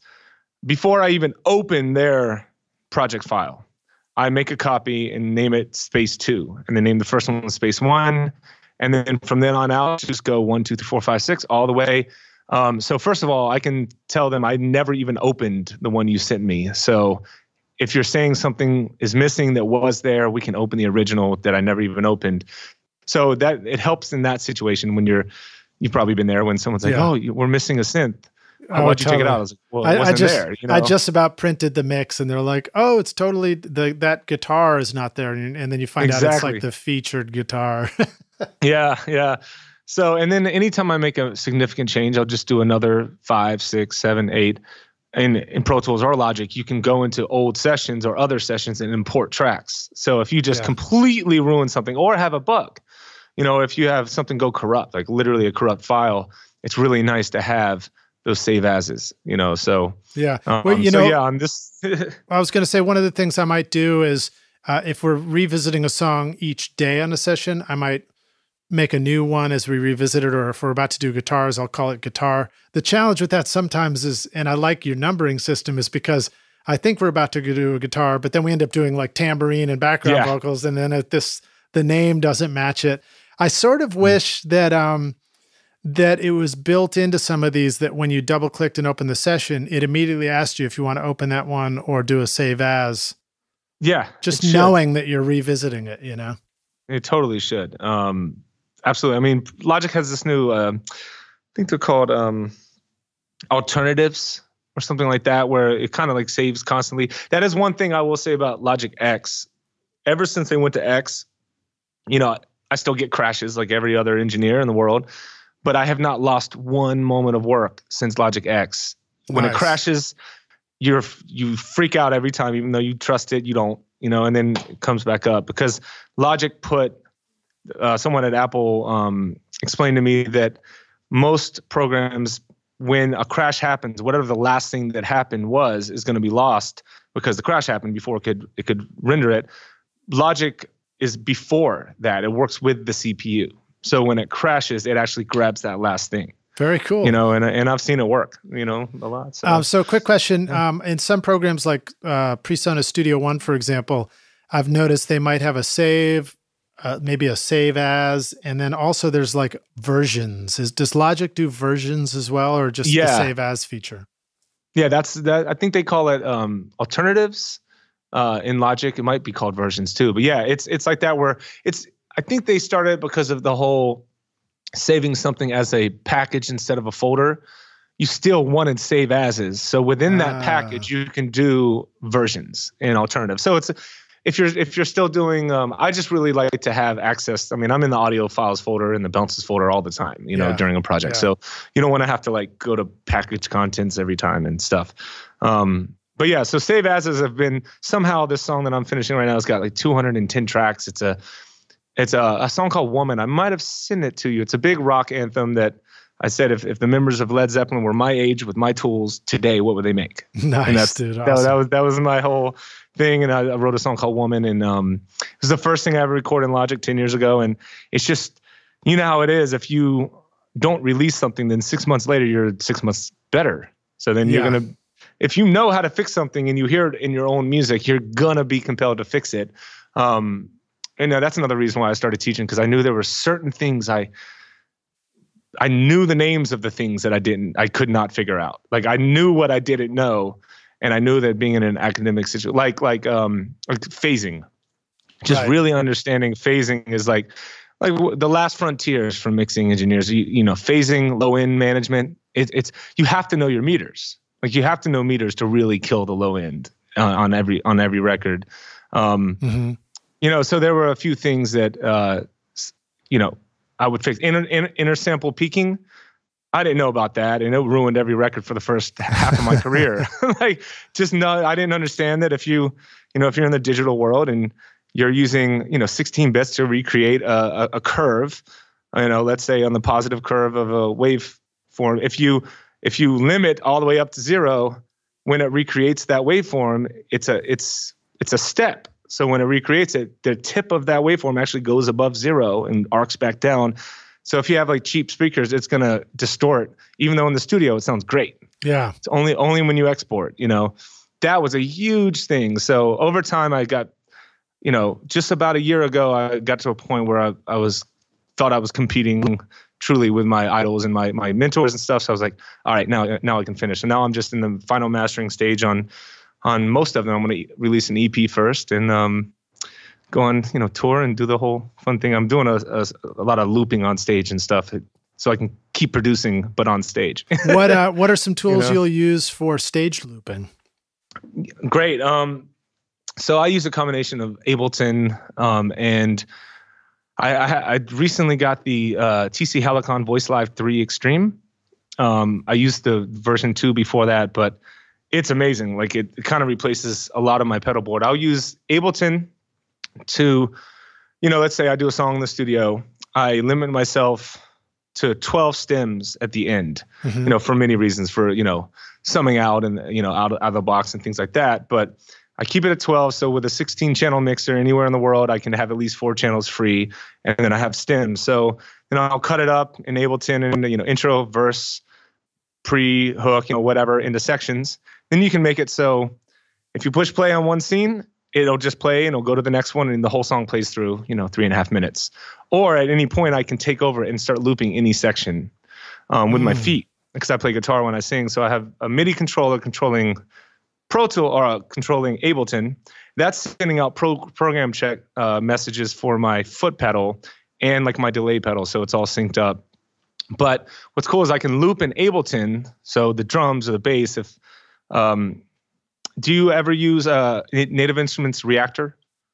You know, I'm um, I think I'm using the Reaktor player for some plugins, and I'm, yeah. I'm I don't really know it very well. But in the past, I've looked at isn't Reaktor the one where you can get in deep and you can so like draw yeah. connections between modules and create like you know beat remixing apps, yeah, all kinds of cool, crazy stuff almost anything. It's kind of like Max for Live for Ableton. You can create. They give you the in- infrastructure to basically create a Native Instruments plugin. You know, and they give you all the tools. So, so somebody somebody wrote one, and I do not know who it was. I wish I could give credit to this this guy. Just put it up on the internet a few years ago. It's just a, Reaktor program that um, has an endless feedback delay just going on all the time, and I'll put it on every track in Ableton. But what's cool is because it's it's a delay, it's not using the needle to you know to write on the hard drive it's not recording anything it's just literally just a delay but i have pedals set up that i can grab the last eight or four bars of anything that just happened on stage per an instrument with just a midi trigger or have a dj on a dj board grabbing clips when they hear me do something cool on the mic he can grab the last four or eight bars oh, quantize wild, it man. you know the geek then, in me is yeah. getting all excited. Oh God! Oh God! Oh God! I mean, seriously, like I, there is there's something really intriguing about like the technology and looping stuff, and yeah. I, I spent quite a bit of time on older versions of Ableton Live trying to figure out, okay, like how could I take um, some mic inputs with musicians or just myself, or even just one input, and like play through and create sounds and capture loops live. So I'm playing against it, and and it it just got really complex and interesting. yeah. But you know, I do know one one question for you though is um is is one of the challenges of using all this technology to play through for a live gig uh, somehow making sure that you don't um, you know end up with like a nasal pinch tone coming out of the the monitor speakers where things are over processed in the wrong kind of ways is that are there certain tools you you're using that really have a full tone to what you're trying to do and don't kind of end up sounding, you know, squonky? Yeah, I definitely. Um, we we talked a little before about it, but the the UA Apollo um, really just changed the whole thing for me because I'm used to having like Neve 1073s in the studio and 1176s, and I can literally run 24 channels in through Apollos in rack. Um, all at zero latency with the uh, Neve 1073s and, and uh, some plugins on the input. So it's it's almost like I have you know a, a 1073 is what four or five grand, and I'll have 24 of those on the input in real time while on stage. So I'm going through what feels like a real. I really you know I, I owned them. I sold. I have sold all my outboard gear at this point. I had about 40 grand worth of outboard gear, and this little Apollo Twin sitting here on this chair right in front of me right now I just sold it all because I just I got I got everything I need. But that really cool. helps live too. Is um and the other huge benefit. So yeah, going in with you know a lot of that analog feel and and um benefits, but then within, you know you you can you know I do a lot of you know limiting just to kind of um, fatten things up or a little bit of exciting uh, excitement. But then like my electric guitar, I'll go in dry and then send that out to my amp and then have that mic and have the dry so later on I can fix it. And the, and the craziest thing is we use like um, an iPad controlled live mixing board that also has flying faders with Allen and Heath. And what's great is if we're doing, we can do the songs in any order, we can loop them however we want, but the automation of the mix, if the mixing engineer is using an iPad to control Ableton, all the automation is saved every night. So then you can go to, you know, um, write mode the first time, and then go to touch mode from then on out. And then the live front of house engineer, if he grabs a fader, it fixes it for the next night too. That's so you literally wild. can automate your mix and then edit that later. You know, um, so I try and keep you know enough analog tools that if like everything blew up we could still rock like a band right you know because if you have a computer one out of 30 shows something's going to happen okay so That's, who who is the yeah. band who's on stage with you i mean not i mean you can mention the names but i mean like what instruments are on stage with you for this this show uh yeah i'm i uh i've been doing a, a couple of weeklies here in la where i've um I've been having a cajon player, which has been really cool. You know, my drummer that um, yeah, Iashi Hamden. He he he's uh the Luther Vandross's drummer was his father for like 23 years. He was uh, so it's, it's just this family of amazing drummers. He plays a cajon, and that's awesome to loop. Um, yeah, this is like in a hotel. It's in the W Hotel in, in Hollywood, and uh, they have you know, a bunch of rich people living two two floors up, so they don't want it to be rocking too much. But then I'll get up there with an acoustic guitar through all these pedals and stuff, so I can distort if I want, and whatever. um, cool. Bass, uh, upright bass, cajon, acoustic guitar, but I, you know, it's mostly it more rocks than anything. Uh, and then uh, two violinists. Oh, so yeah, wow. it's really it's been crazy. I, I was like, if I'm gonna loop, then let's make this a studio. I don't need to. There's so much other stuff coming out of the speakers. Um, you know that it's just awesome to have eclectic instruments and, and something for people to really enjoy and look at. You know, that's wild. So it's loop. you, two violinists, and a cajon uh, drummer and bass and bass. Mm-hmm. And then um, what about making sure that your sound is right? So you've got a live sound guy who's kind of mixing things based on the venue, but are there any lessons to be learned about preparing a, a, a sound like that? Um, do you do it in the studio and trust what's coming out of the studio monitors, or is it really important to find yourself a rehearsal space with a real PA to know how all that stuff's going to kind of translate? Awesome question. Yeah. Um, I, I, learned that the hard way when I started to work on tracks, uh, uh, tour with two or three bands around the country. Um, and I, I, think I learned the hard way because if you do your leveling in the studio, it is totally different through a PA. If yeah. nothing else, you you need to get 25 feet away from the speakers to understand how you know this is like let's call it pre and post phasing. Right. like all the things that happen before it gets to the audience ear, all the phasing and stuff in this these rooms that are made to resonate and and all that kind of stuff. Um, so I, I usually I'm really fortunate right now teaching at this at this uh, college with this amazing old theater with a you know uh, a PA and all that stuff. So I'll get on stage and really just rehearse. But I do recommend definitely. Um, you know, I'm a live sound engineer, engineer, whatever, but I've I've learned to turn it off when I'm on stage. I really, you know, I have a, a great sound guy that I really trust. But um, first time in my life I ever could say that. It only happened nice. two months ago. So where I'm like this, there, I this guy I trust. But at some point, you just got to be up there and be an artist. Um, you know, uh, you got to trust they, they're hearing it. Don't think ever that you know what it sounds like from stage out there. Right, like I've, there's no one. Uh, there's there's major artists that I'll never work with again because they just can't get that in their head. You know that what you're hearing through the monitor is not what the audience is hearing. Yeah. You might think you have to scream in the mic, but they're all they hear you is screaming really loud out there because you're blazing loud to them. You know. Yeah. yeah. Um, but yeah, it's getting it's it's a lot a lot of levels. I also put um, I'm a big fan of when it comes to like live stems and stuff normalizing um, you know so basically just taking the the highest point of the song and putting it at digital zero. So you get around the same amplitude per stem. Right. And then use using clip gain you know for for the rest of it and if you need to automation and stuff. But really averaging things out if you if you're making click tracks make sure they're exactly the same volume every single song. That you, you right. can totally mess that up. Um, and then i do light compression light limiting on the output um, especially when you loop a lot. Like sometimes I'll go nuts and loop seven vocals on top of each other. Of course, the volume goes up, so you need to have some kind of um, compression and eventually a brick wall. Yeah, and that's that's coming yeah. from your Ableton, so that yes. what, what and you're sending out all these stems and the stuff from the Ableton to the live sound mixer.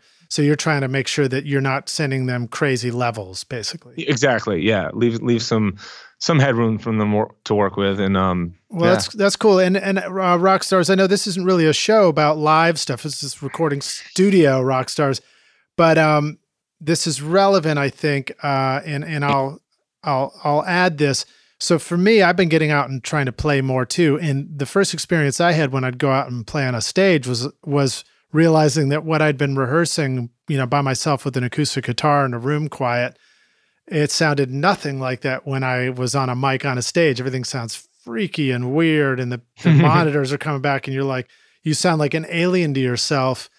And so I learned, you know, to start practicing on the shittiest PA setup I could here in my studio. I've got a like a, I mean, it's kind of a cool one. It's a vocal sure, yeah. a Shure Vocal Master, but it's it's oh. loud and awkward and feedbacky, and you know things are. And I think that's really good to get used to that. But uh, the reason I think it's still relevant to the studio is there is still that experience when you know you're you're working with an artist in the studio and they get into headphones in the studio experience it is different from what they've been rehearsing at home. And so mm-hmm. there's that like getting comfortable factor and making sure they come in and listen on the speakers and realize that what they hear in the headphones is different from the speakers same thing uh, as the live stuff. But anyway i'm i'm, I'm i digress. Give people knowledge you know I, i'm a big fan of um I think I think I'm you're you're the same way, Lij. That you're you're a learner for life. Like you, yeah. Totally. I'm addicted to learning. That's probably why I'm a musician, not vice versa. You know. Yeah. Uh, and and an engineer because you can learn for the next 900 years and not know nearly as much as somebody else next to you. You know. Um, but knowledge is power. Like I'm really big on, especially live when someone's like, "Yo, I need I need more monitor," or I I want reverb in my in my monitors. Instead of saying, "No, you don't get reverb in your monitors." Trust me, you don't want it you know, instead of, you know, a lot of sound engineers will, will go there and, and be real snappy, inform them, say, listen, reverb is a, a repeat. Um, it's an extra copy, a bunch of little extra copies. So if we have reverb, that means we can't turn it up as loud because it's going to feed back sooner because there's more copies. And they'll be like, oh, okay. And then they're totally fine not having reverb because now they know that they can hear themselves. Say in the studio, let them know what they're going to hear. Um, so you're saying have, that the uh, spring reverb on my Shure Vocal Master, I should turn that off upstairs? yeah, yeah. No, actually, leave that leave that, leave that one on. yeah, just letting people know, like like you said, yeah. headphones. You can be the greatest singer in the world. You get behind that red light, and it just feels different. One ear off, one on. I do that a lot, just so I can like keep perspective mm-hmm. um, yeah. on, on, things. Um, it's funny you, you know, the distinction between studio and live. For me, it's it's almost like I mean, part of it is because I'm a performer, but even when I work, when I produce a record for another artist or, or, you know, do the whole thing, you know, produce it, mix it, master it. I do that a, a lot where it's like, you know, the whole process. Um, it, it's almost the same thing to me. Every single artist needs stems for performance at this point, just in case. What mm-hmm. if you get a smash hit? You need stems which means you have to start planning it out, which means pretty much the whole session you should have in mind how is this going to translate to the stage. Um, and the way we make music today, it's so loop based you're kind of doing that anyways. You know, you're already you're kind of performing it and then getting you know hearing when you like it and all that stuff because it's so loop based. So, totally, and and yeah. you know as as a studio engineer producer, we're trying to help create you know the product for whoever the artist is and it might be a stereo mix that gets played back for somebody on their their iphone but it may just as well be what you just described which is like all the stems that are going to make up the live show that allows this artist to even survive and go out there and ever get anybody to give a yeah. shit long enough to listen to the two track mix so yeah. it's really insightful to be able to you know hear you describe all these steps of making sure that those tracks are usable later and, and create a really cool live performance mm-hmm. Um, well, let's jump right back to some questions about production um, for next. So, you know, you're, you're working in tools like Logic and Melodyne. Um, I know you have a strong sense and understanding of uh, working with programmed drum beats. You know, Ableton Live. Um, what what kind of stuff do you know about um, getting the right programmed kick drum for production? Uh, basically, generally speaking, like how do you end up with the right kind of low end. Let's say it's a, you know, a doom, doom, doom, doom, something, yeah. you know, something with a real four on the floor production. Fairly common yeah. in a lot of pop music these yeah. days. You think? But um, but you know, the point is that that that becomes a bit of a centerpiece, certainly a centerpiece for the low end of of the production. What are some things that you find as far as feeling confident that this is the correct low end for a track, as opposed to this sounded cool today, but later on when you get there, you you know you listen to something else and you're like, ew, my kick drum sucks. Yeah, you know? totally. And, and uh, just talk about that whole process. Absolutely. Um, it, it is funny when you look back into the 60s, 70s, 80s, 90s even. If you listen to kick drum volumes, they literally are a third as loud as they are in modern records. Totally. And and today it's like every genre, even country, you'll listen, you'll be like, God, that kick is hitting me right in the the throat, you know. Um, yeah, I, I I've really focused on low end in the last um, few years. You know, it, like I said, I, I, felt like it was one of the final frontiers, and it, I think it is for everyone. Um, one thing I'll go ahead and say is I got a SubPac. Um, you know, oh, yeah, uh, the, is that the, the, the thing you wear? Exactly. And now there's two versions. There's one that you wear like a like a like a vest. It looks like a bomb though, so be careful in public. Um, I had an engineer one, and one of my assistants came, and you know we were using inner monitors already, so he brought a SubPac and plugged in so he could feel the sub. I'm like, dude, you look like no, you have to take that off. no, not not not with you know ten thousand people around and security guards everywhere. Um, no, people are like, what is that? What is that? What is that? Anyways, uh, but you can wear it under your under your shirt or jacket. But then there's one that sticks sticks your just melts onto your chair, and that's what I use in the studio. Um, obviously, because mixing, you know, so and then you can plug your headphones in and just go silent, but then you really feel the low end. Um, you know, the lower lower on your back is like 20 hertz, and up to you know near the top of your back is more like 100 hertz.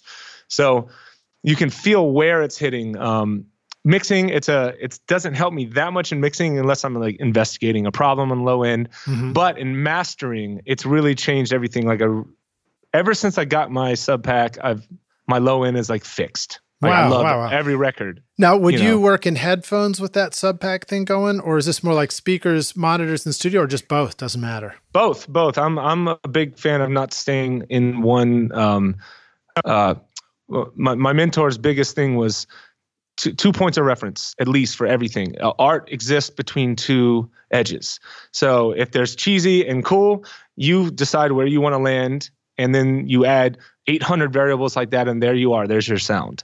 Um, so he's always really big in having multiple points of references because it just resets your brain. You know that's why you have multiple speakers and headphones in the studio. You need to get out of your own little world. You know we all go down that rabbit hole. Um, Melodyne's the worst at it because that rabbit hole is forever. But anyways, um, no so no rabbits. Yeah. Yeah. we, we, so, we made that dumb joke earlier on the podcast where I was like, you get down to the bottom of the hole, you look around, you're like, no rabbits or still rabbits, no rabbits. or whatever. yeah, you still I go deeper and deeper chasing the rabbit. All right, cool. Absolutely so, true. So yeah, multiple but, points of reference. Um, this yeah. the the uh, the SubPac is in your chair and you were saying that that at the production stage, the composition stage, that's where it's valuable, and then again at the mastering, but maybe less so in the middle of the process through mixing. Yeah, basically with the with the SubPac, um, when I'm a being at the end. So like, let's say I'm doing a hip hop record, and I like how a song on Kanye's last record hit. I'll bring it up, and I'm I always put my references in the actual session, so you can. In Logic, I really like if you hold down Option and hit a solo button, it without any pops or clicks or any latency, it mutes everything else and solos what you solo. So for A being, it's really great. Um, but when you're A being, if you can literally feel the energy of the low end and feel where it's hitting on your back, you can just go in with an EQ and literally just move it around until it feels physically the same as Kanye's last record. That's wow. Then you take it, you, and it's almost not even about your ears. It's more about I use it as a tool. Like you know, obviously, low end it's the dimensions of the room that give you problems with low end in your room. You mm-hmm. know, um, it's not really you can't really you know soundproof. You can put bass traps and stuff, but this thing is always consistent. I can do it in a coffee shop and literally master the low end of a record and feel pretty confident, and then go hear it in the speakers later. Um, so yeah, that's, that's cool. a big thing um, when it comes to low end. About a kick drum, so that that's that's been one of my secret weapons. Um, I do when I do electronic music, I do sometimes take a sine wave and turn it into a kick drum and really mess with the attacks and um, you know bring up like an ES2 or something in Logic. But um, I do a lot of layering too, where I'll take like a, a kick drum that has the low end I want, and then maybe like high shelf it a little bit, um, or high cut it, whatever, and then take something with the middle that I like and something with the top end and blend them. But I use um, Sound Radix Auto Align when I do that usually. Mm-hmm um, it basically just puts things in phase, which can really help when you get that blended kick. Then send that to a bus. Um, and on my entire low end bus, you know, so all the low end stuff from you know bass to anything but kick is all leading to one bus, and then I do the whole you know side chaining um, compression where I use this one plugin, uh, the Vengeance Sound multi-band sidechain compressor, I think it's called. It has a really quick attack and release for the compressor. So when that kick hits, it triggers the compressor. The low end dips down a bunch, but before that kick is even done, the the low end's back up. You don't even notice it, but then it leaves the whole speaker. The whole sub is for that kick for a second, and then the low one comes back in, and right, nobody wait. knows. You, I'm going to make you back up and Yeah, totally, sorry. one more time. So, and it was called the Vengeance Sound Multiband Compressor.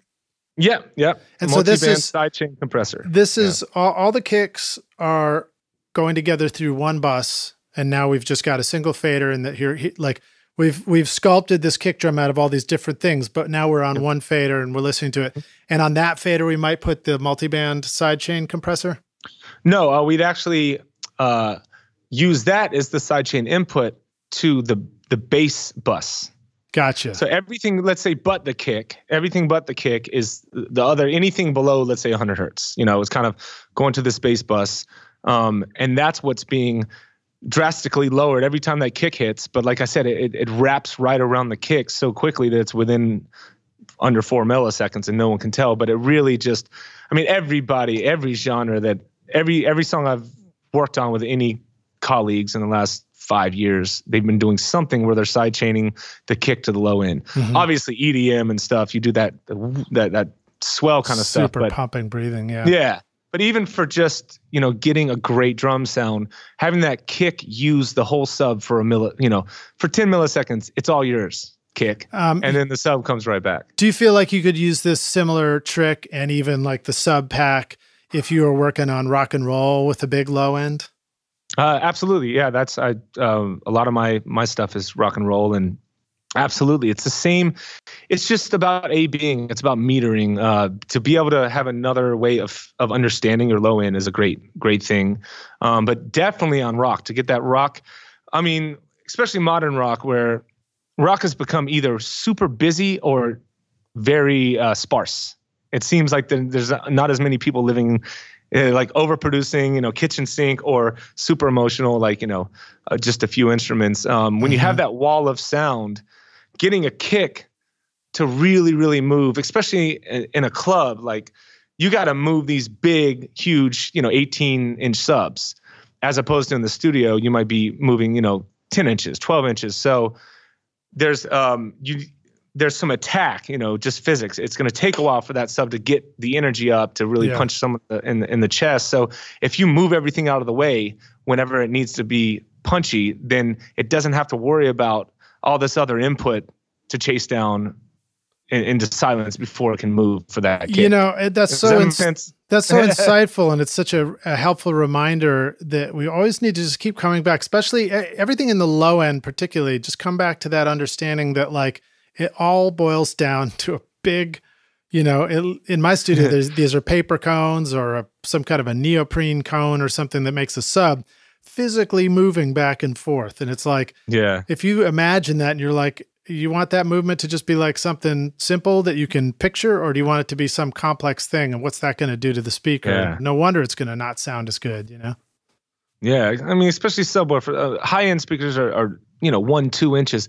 You send something through them, they immediately, you know, move waveforms. But those low end, like it's like a big mammoth that has to get moving. But then that inertia, you know, will knock down buildings. So yeah yeah nice you know, you do, you have to, yeah, you have to see it. You carving things out, obviously, in in mixes, especially with these walls of sound we're expected to make these days yeah you know totally, you totally. really have to carve things out and if, if it sounds bad solo it might be perfect you know it's you you know it doesn't have to sound good when you solo it just has to sound good in the mix. Yeah awesome. Know? all right well let's let's take that kind of kick drum the uh the program drums production and let's throw that back at melodyne for just one sec. Um what are some ways that melodyne is um cool or might be? And if the answer is you don't use it that way that's fine.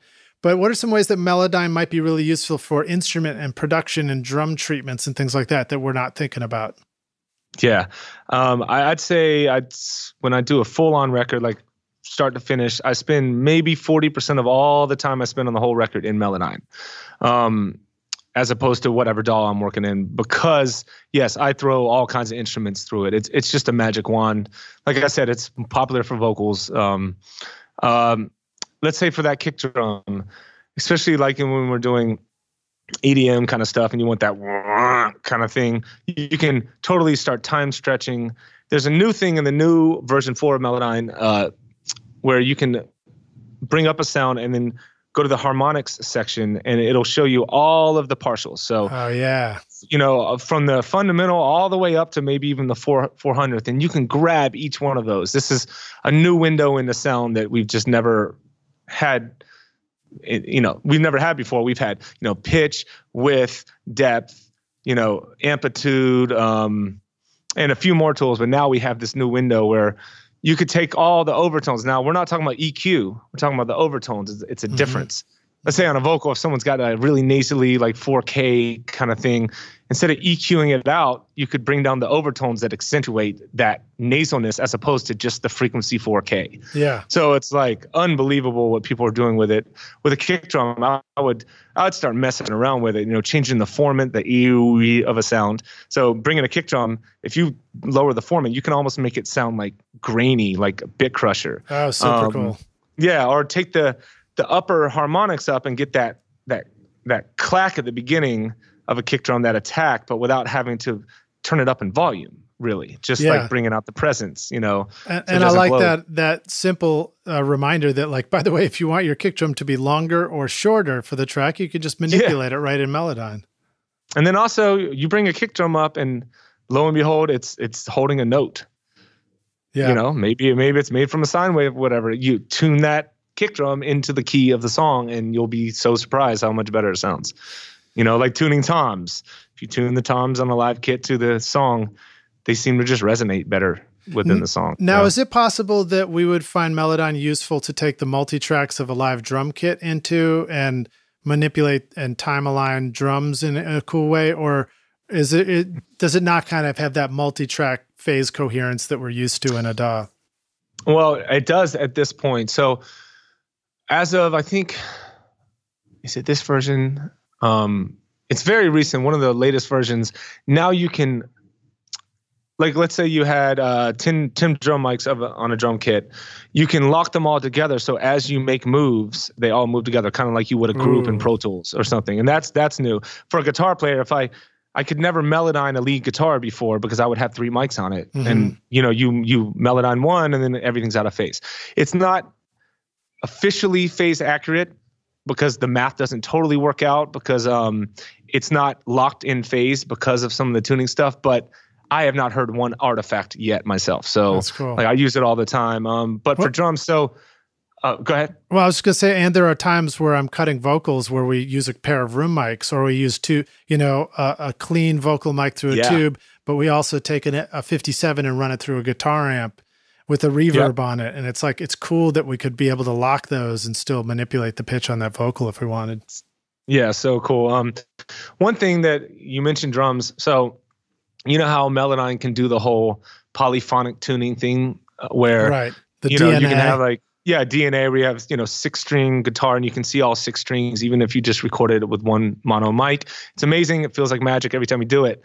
Um, but what they've done now is and this is only available in the studio version. This is the only reason they charge what three hundred more dollars for studio than the plugin. Mm-hmm. Um, is you can now the way they their quantized engine works. They're looking polyphonically into the sound.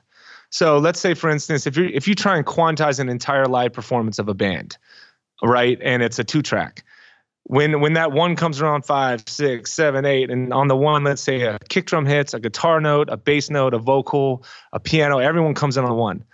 Every other DAW is going to basically take whoever came in earlier, so probably the worst musician in the band, whoever was rushing the most, they get the node. You know, they get the transient right. marker. Right. Um, so if you quantize, and you're basically just pushing everyone back in time, um, looser and looser in time, and it, you know it can just sound quantized.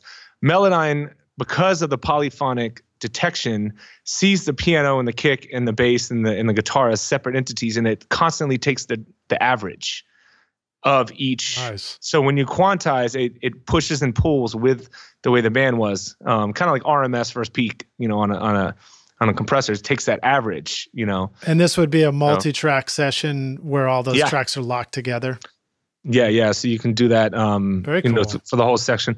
That, like, for instance, the the movie uh, Straight Outta Compton. Mhm. Um, they had 300 songs they chose uh, to possibly put in the movie, and they were giving them to all these big, you know, hip hop uh, artists and DJs to remix.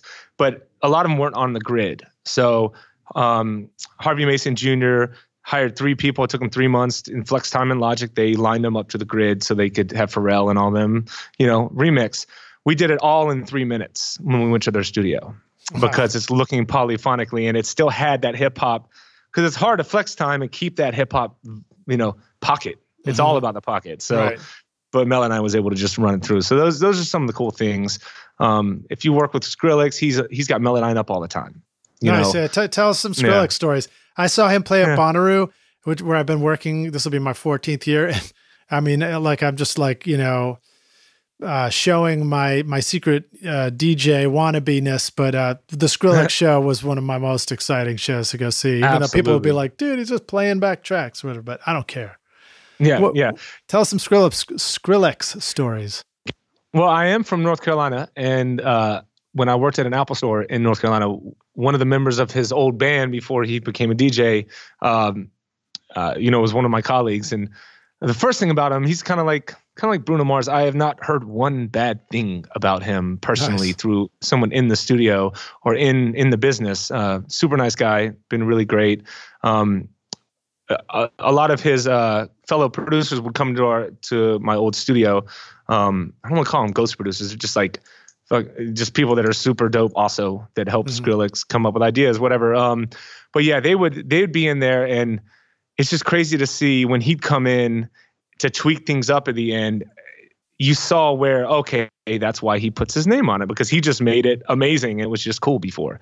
Um, so you know, he would come in and bring up Melodyne and start doing the and get all that stuff going on. He would take a lot of, you know, a lot of his bases and elongate them to basically like, you know, take the image resolution down on a on a JPEG. Like suddenly it's all pieced out, but then build it build something back from that. You know, he, That's it's all all over the place. There's, you know, for him it's all about vocals creating synths now Yeah. because everybody can have the same presets in Spire, but no one can make a synth based on your voice other than you. You know. What's what's Spire? Oh, uh, Spire is a it's a virtual instrument, um, kind of like you know Massive or um, any any of the virtual Alchemy or whatever. Mhm. Just a synth. Uh, I think it's got four oscillators. I'm not sure. I, I forget how many oscillators, but it's just it's one of the ones that like all the kids are using it because it's pretty pretty amazing. nice. Um, Spire's really cool. Uh, there's a few, you know, obviously they're all using Ableton until they have to mix a record. They're like, oh wait, now I will say this about Ableton. in my playing around with Ableton Live, one of the things I discovered is the stereo bus. You can just simply push everything as loud, almost as loud as you want to go into the stereo bus until it goes into the red, and it sounds great. And that was an interesting difference between my experience in Pro Tools, where you're like, you know, you see the red and you're like, okay, I better back off. Yeah. No, I, I it feels more like a desk than than like it's got a sound. Like you can tell when something came from Able, Ableton, but it happens to be a great sound. Kind of like tape. You know, Mhm. people when you track the tape, if you actually know what tape does, then you can pretty much recreate it. I mean, there's a, a boost at 60 hertz. There's a that great dip between like two and five K that happens on tape. Well, if it's doing that to every one of your tracks and you do 16 tracks and you've just removed a lot of the harshness right there between two, two and five or whatever. Same with this. Like it's it's Ableton has a sound, but it just happens to be one that we like. Yeah. So I, I I love how Ableton sounds, but I went mastered through it because I can hear. Um, it seems to kind of just it almost feels like it, it puts things in a package, like rolls off the lows, like with a high nice Nyquist um, slope or whatever, and then rolls off the highs way up. It feels like you know, it just feels like it's doing something like that. But What's it do you great, have a so- go-to um, tool for you if you're going to do mastering yourself? Do you have a go-to Yes. DAW or anything? Yeah, um, I do. I, I do it in Logic usually. It's more about the outboard uh, gear. I do. Ha- I, I like how Logic Logic's engine sounds um, on the output. Um, but I, I gotta call them out. The IK Multimedia, you know, I've I've liked them for a long time. I've had some stuff I use, some I don't. But the T-RackS uh, Stealth limiter, have you used that yet? I don't think I've used that one. No. My God, I, I think I have them all. I'm pretty sure I have every limiter in the world. And I, me and my um, I have a mastering uh, mixing mastering company with a partner in DC, and uh, and you know we're both just super nerds about anything new comes out we got to you know put it up against the test and nothing has even come close. Since i started using stealth i can i can really compete a little more. It's got a great ispl so i can you can push up into the ceiling and really get it loud and keep dynamics more than any other one. It doesn't distort as early. I mean i've used them all from you know, all the wave stuff to all the you know even the uad stuff. Just really loved like that's it that's it for me. That's for cool. a while. I, I have Love used like the old T-RackS, and I remember really being amazed with some of the stuff I did. I mean, we're talking yeah. about like six, seven years ago or something using that, using that, yeah. and and it really sounded great. Um, just uh, just no no disrespect, but um, when you use the stealth limiter, I don't have like uh, pop up windows trying to upsell me on on new plugins or anything, do I? Not at all. No, it's it's a pro. Okay, cool, it's, cool. It's, awesome. it's, a pro situation. Absolutely. No, I, I um, there's a mastering engineer uh, over at United Mastering. That's really great, and he he turned me onto it, and and ever since I've been like, oh, this is amazing. Super you know? cool. I'll have to check that out. Do you know um, Warren Sokol? Warren Sokol? Um, S- boy, that that's so familiar. I'm not sure if I yeah. do. He just became the head head over at the new United uh, Mastering, and it, it sounds great. It's an awesome new room. Okay, cool. Well, yeah. sounds like another person I have to have on the show. Yeah. Um, any questions? I didn't. There was one. I, I thought I'd ask you a general question, just from your your your angle of teaching. Um, what if you want to share anything? Like, what are the questions that you're generally speaking? Like, what do your students want to know about the recording and the mixing process? What are some, you know, you always see this come up kind of stuff, or, or anything you want to address? Yeah. Um it's it's usually at the beginning one of the first problems is always muddiness. Like what why are my mixes so muddy? Mm-hmm. well you you have to low cut every single track for the rest of your life live or in the studio except for kick and bass forever. You know like you have to get rid of all that fat. You know people moving around with a mic stand and there's like some 40 hertz like rumble going on that's moving your limiters without you even hearing it in mm-hmm. your mastering. Um, because of course everyone wants to get things loud but you do have to carve out room throughout your frequency spectrum because you don't want the one one thing to be peaking so much, pushing your limiters too much, and then you can't get the rest of it loud. Um, that that's a big thing, the muddiness, um, and then of course, uh, of course, latency. you know, that's the endless fight for all of us. Latency is, in, in terms latency, of just you know? what you hear in the headphone coming through. Exactly. Understanding buffer sizes is kind of like you know something um, that confuses people at the beginning, but uh, a lot of these new DAWs, I know Pro Tools has an, a low latency mode as of 12, I think now. So mm-hmm. um, those really, really help. So, so, so the the answer to that, like if somebody's new to this, is that latency is, and we didn't used to have this when it was analog tape and desks. We uh-huh. didn't experience this, even mm-hmm. with like uh, you know some of the high end uh, systems like my Pro Tools HDX or a TDM system the latency was already short enough that you you kind of don't notice it. Although there are people who mm-hmm. also notice that.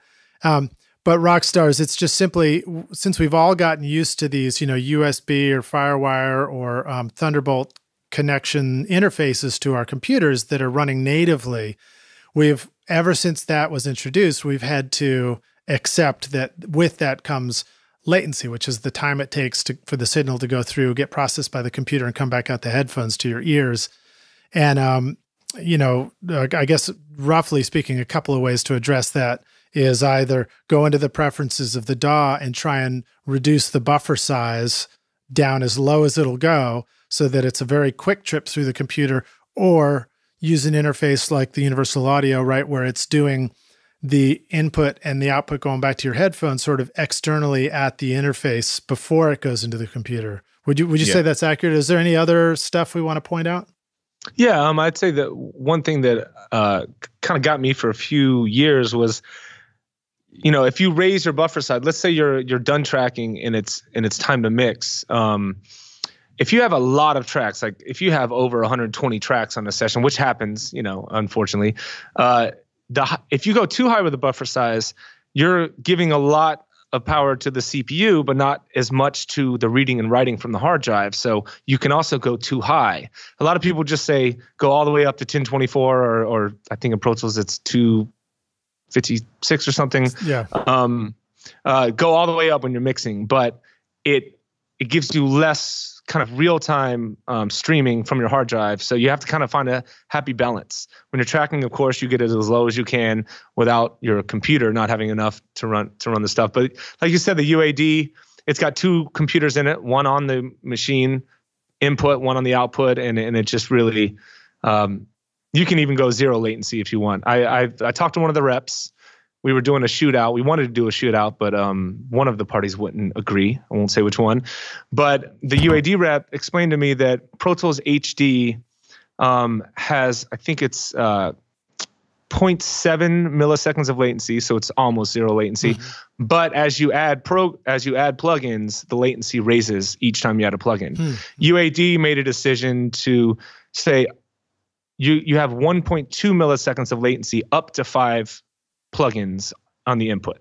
So one or five, it's just 1.2 milliseconds of latency no matter what. And usually you don't use more than five plugins on the input.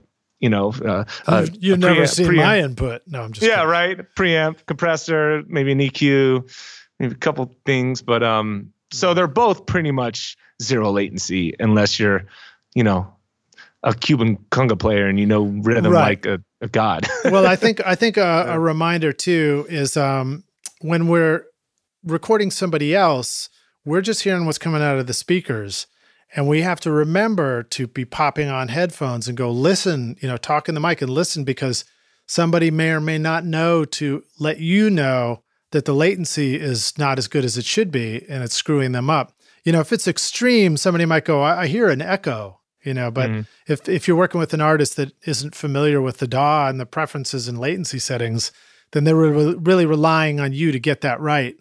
And it can really screw up somebody's ability to uh, play an instrument, um, you know, timing wise or pitch wise, if their latency is sounding wrong in the headphones, right? Absolutely, yeah. Oh my God, that's that's the hardest thing. Uh, the hardest thing is when you're on a big, big stage, and you get that slap back two seconds later on every single thing you do and it's not in rhythm in any way. And you know that echo coming back from the the stadium or the the amphitheater can be you have to tune it out especially right. if you're a drummer. You just have to like literally like learn to tune it out. That's pretty wild yeah. same problem same problem you know? It's like what we were talking about before yeah. about rehearsing with a crappy pa so that you don't get distracted yeah. by how freaky things sound. Yeah. Yeah um, or or list or buy some Auratones for the studio to hear them through tiny little speakers. You know, yeah. Yeah, perspective. All right, well, um, let's let's jump into kind of our closing question here. This one's hypothetical, but uh, we're going to take the Wayback Studio machine, and you're going to go back and find young Derek Olds. Um, we've been talking so long, I almost forgot where you started out. Oh, you were in North Carolina, maybe. and um, yes, and, and yes. you know, you're going to go there and show up in the uh, where where were you working? Were you working in a music store, or some record store? Um, at the beginning, uh, uh, for Apple, and then in, in oh Apple, right? Studios, okay, so so living in recording studios. You're you're so. walking into the Apple store, and and young Derek's in there, and and um. And you go up to him, and he's like, he's like, older Derek, what are you doing here? You know, he's like, well, my iPhone sucks, man. Can you fix this for me? No, yeah. that's not what you say. You say, listen, I've come to my iPhone does suck, and I want you to fix it for me, but I also want you to uh, to um, to give you this bit of advice, here's the single most important thing you need to know when you get get out of the Apple Store and go be a rock star of the recording studio yourself. What what advice would you go back and give yourself? Huh, yeah, uh, I'd say the the first thing uh, is probably that just if someone would have just really let me know that mistakes are your best chance to pull people in. To if you're a performer or in the studio, if you if you handle mistakes or things happen and you handle them well, people see the humanity and see it gives you a chance to show them how much you truly understand something. Because when you fix something and you know why it broke, people are really impressed. Um, or if you're on stage and you hit a bad note, it literally is your chance where the crowd's like defenses are kind of down, they're about to judge you or not, and then you can if you if you're humble about it and you let them know, hey, I'm just, I'm an artist. This is what I do every day. That makes me laugh when I mess up because it's it's it's fun and and and it's I'm a human kind of thing. Right. So I, I really wish I think it would have helped me when I was because I started out in a band that every all four other members were amazing and i i knew five chords when i first started but i was writing the songs so nice. i was like way behind and there was so much pressure and i remember as a young artist you haven't proven to yourself over and over and over that you will come up with another great idea so don't hold on to your first idea that you know is great and you might be totally right that it's the best thing but you don't have to fight so hard for each idea because I promise you'll make rent next month and next month and next month but you're freaking out right now because it's your first month. I yeah. wish somebody would have just let me know that I will. Human beings are geniuses. We are all so amazing. If if someone acts dumb, it's an act. People are just you know being lazy because p- human beings are amazing. Um, you will have another great idea. So instead of fighting with your band and breaking up and and all that stuff, you might just say, you know what? Let's take your idea, my idea, and and try and combine it. Um, the other thing would be split sheets do split sheets. If I had all the money I should have, it, you know, it'd be a whole different story. But um, what's a split that's sheet? easier said than done. Yeah, great. Uh, basically, if you write a song in a room and there's five people in the room, two are sleeping on the couch and three are helping you write, you split that song five ways, 20% each, unless there's a split sheet. Um, it's equal share to anyone in the, you know, legally. Um, there, you know, someone's farting on the couch in the back through the whole session, they still get their percentage. A split, and uh, you know, don't let people bring their girlfriends and boyfriends into the studio because they get a percentage if they want. Oh, um, fascinating! Um, wow. Yeah, a split sheet is basically just a sheet that says, "Here's everyone that was involved. Here's the percentage of publishing, uh, the the the songwriting um, ownership that they're they're going to have." Um, uh, you know what? I'm going to actually answer your question now. If somebody could give me one thing of advice, it would be to split things evenly whenever possible and throughout your whole career and every asset. If you co-write with someone, instead of being like, well, I, I just wrote, I actually wrote 75% of it. You wrote 25. Just split it down the middle. A, you have an ally. You have two people pushing the record hard. If you got eight people on a record and they're all getting equal percentage, they're all going to be, you now have a marketing team. Right. You have all that power. Over time, I started about four years ago. I, I split everything pretty much 50 50 or 33.3 as much as possible. And I just have less headaches in life. Yeah. And everybody seems to really root for my success because it's their success too, as opposed to everyone trying to like carve out their little piece, you know? Well, so, that's great, um, man. That's great advice. And yeah. I mean, here we are with this podcast. I mean, that that's the whole end game yeah. here is just to try and encourage everybody to uh, be making their best records. Yeah. So. Uh, because we are all in this together. Um, I really appreciate what you do, by the way, Lij. Um, thanks, I've, I've, heard of you. I've heard of you for uh, about three years from a lot of my colleagues at at NAMM and, and through all this stuff. And um, when I saw you coming through this this time, I made sure I met you, and I'm really glad I did. And I really appreciate appreciate you having me on. My pleasure, dude. It's been awesome uh, doing this talk with you too. And you know, I enjoyed meeting you, but like spending this time with you and just really digging into all these details. It's a lot of fun to hear your all this wisdom flow out of you to help us out. So we really appreciate that. So cool. So cool. All right, dig it, dude. Let the rock stars know how they can find you online, learn more about you. Uh, where do they go to pick up your new record as it drops?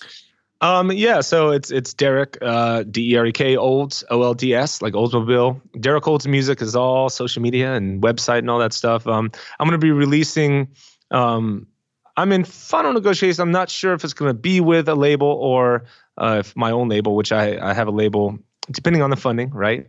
Uh, so mm-hmm. it, um, the, the, first three songs are being released in May um, to be announced, but I'll know in the next couple weeks how I'm putting it up. So I hope dig it, man. It's well, gonna be exciting either way. Good luck with it, and um, you know, just as an aside, go check out uh, what's happening in cryptocurrencies and music. Maybe you could just release it on Musicoin or one of these new platforms. Yeah, actually, uh, that is a big part of my decision making right now. Is is uh, some of the some of that stuff, and you know, we just might be funding it ourselves. So nice, man. That's, awesome, that's dude. what you want. awesome, dude. Thanks so much for being on the podcast with us. Absolute pleasure hanging out with you. I look forward to seeing you around the studio again, and um, thanks for being here, man. Thanks a lot, and uh, you guys make some music. Make some music. Make some music. Um, cheers. Rockstars, a reminder that you can find uh, links to what we're talking about in the show notes with Derek. Um, just click through on your mobile device or go to rsrockstars.com, magnifying glass, search for Derek, and, and I, I'm sure it will pop up. And then uh, just one last shout out too, if you're if you're looking for more training about mixing yourself and you're new to this, go take my free mix training course at mixmasterbundle.com where I show you how to mix using all free plugins in any DAW. I use Pro Tools, but these these same techniques would work anywhere. Basic stuff that will really help you get a handle on some of um, how to treat a bunch of instruments and get your track sounding cool. Thanks so much for listening, Derek. You rock, dude. Thanks for being here. Yes, sir. Thank you. All right, man. Cheers. Thanks so much for listening to Recording Studio Rockstars. If you enjoyed the show and want to help make it better please leave a rating and review on iTunes to help reach more people. You can click directly over to iTunes or go to recordingstudiorockstars.com slash review for an easy explanation. And if you want more free content, all you have to do is text RS Rockstars to 33444. Again, that's RS Rockstars to 33444 and I'll keep you in the loop with articles, videos, and podcast updates. And I'll let you know about any upcoming giveaway offers, all totally free. Thanks for listening. I'm Lij Shaw, and this is Recording Studio Rockstars. Now, go make great music.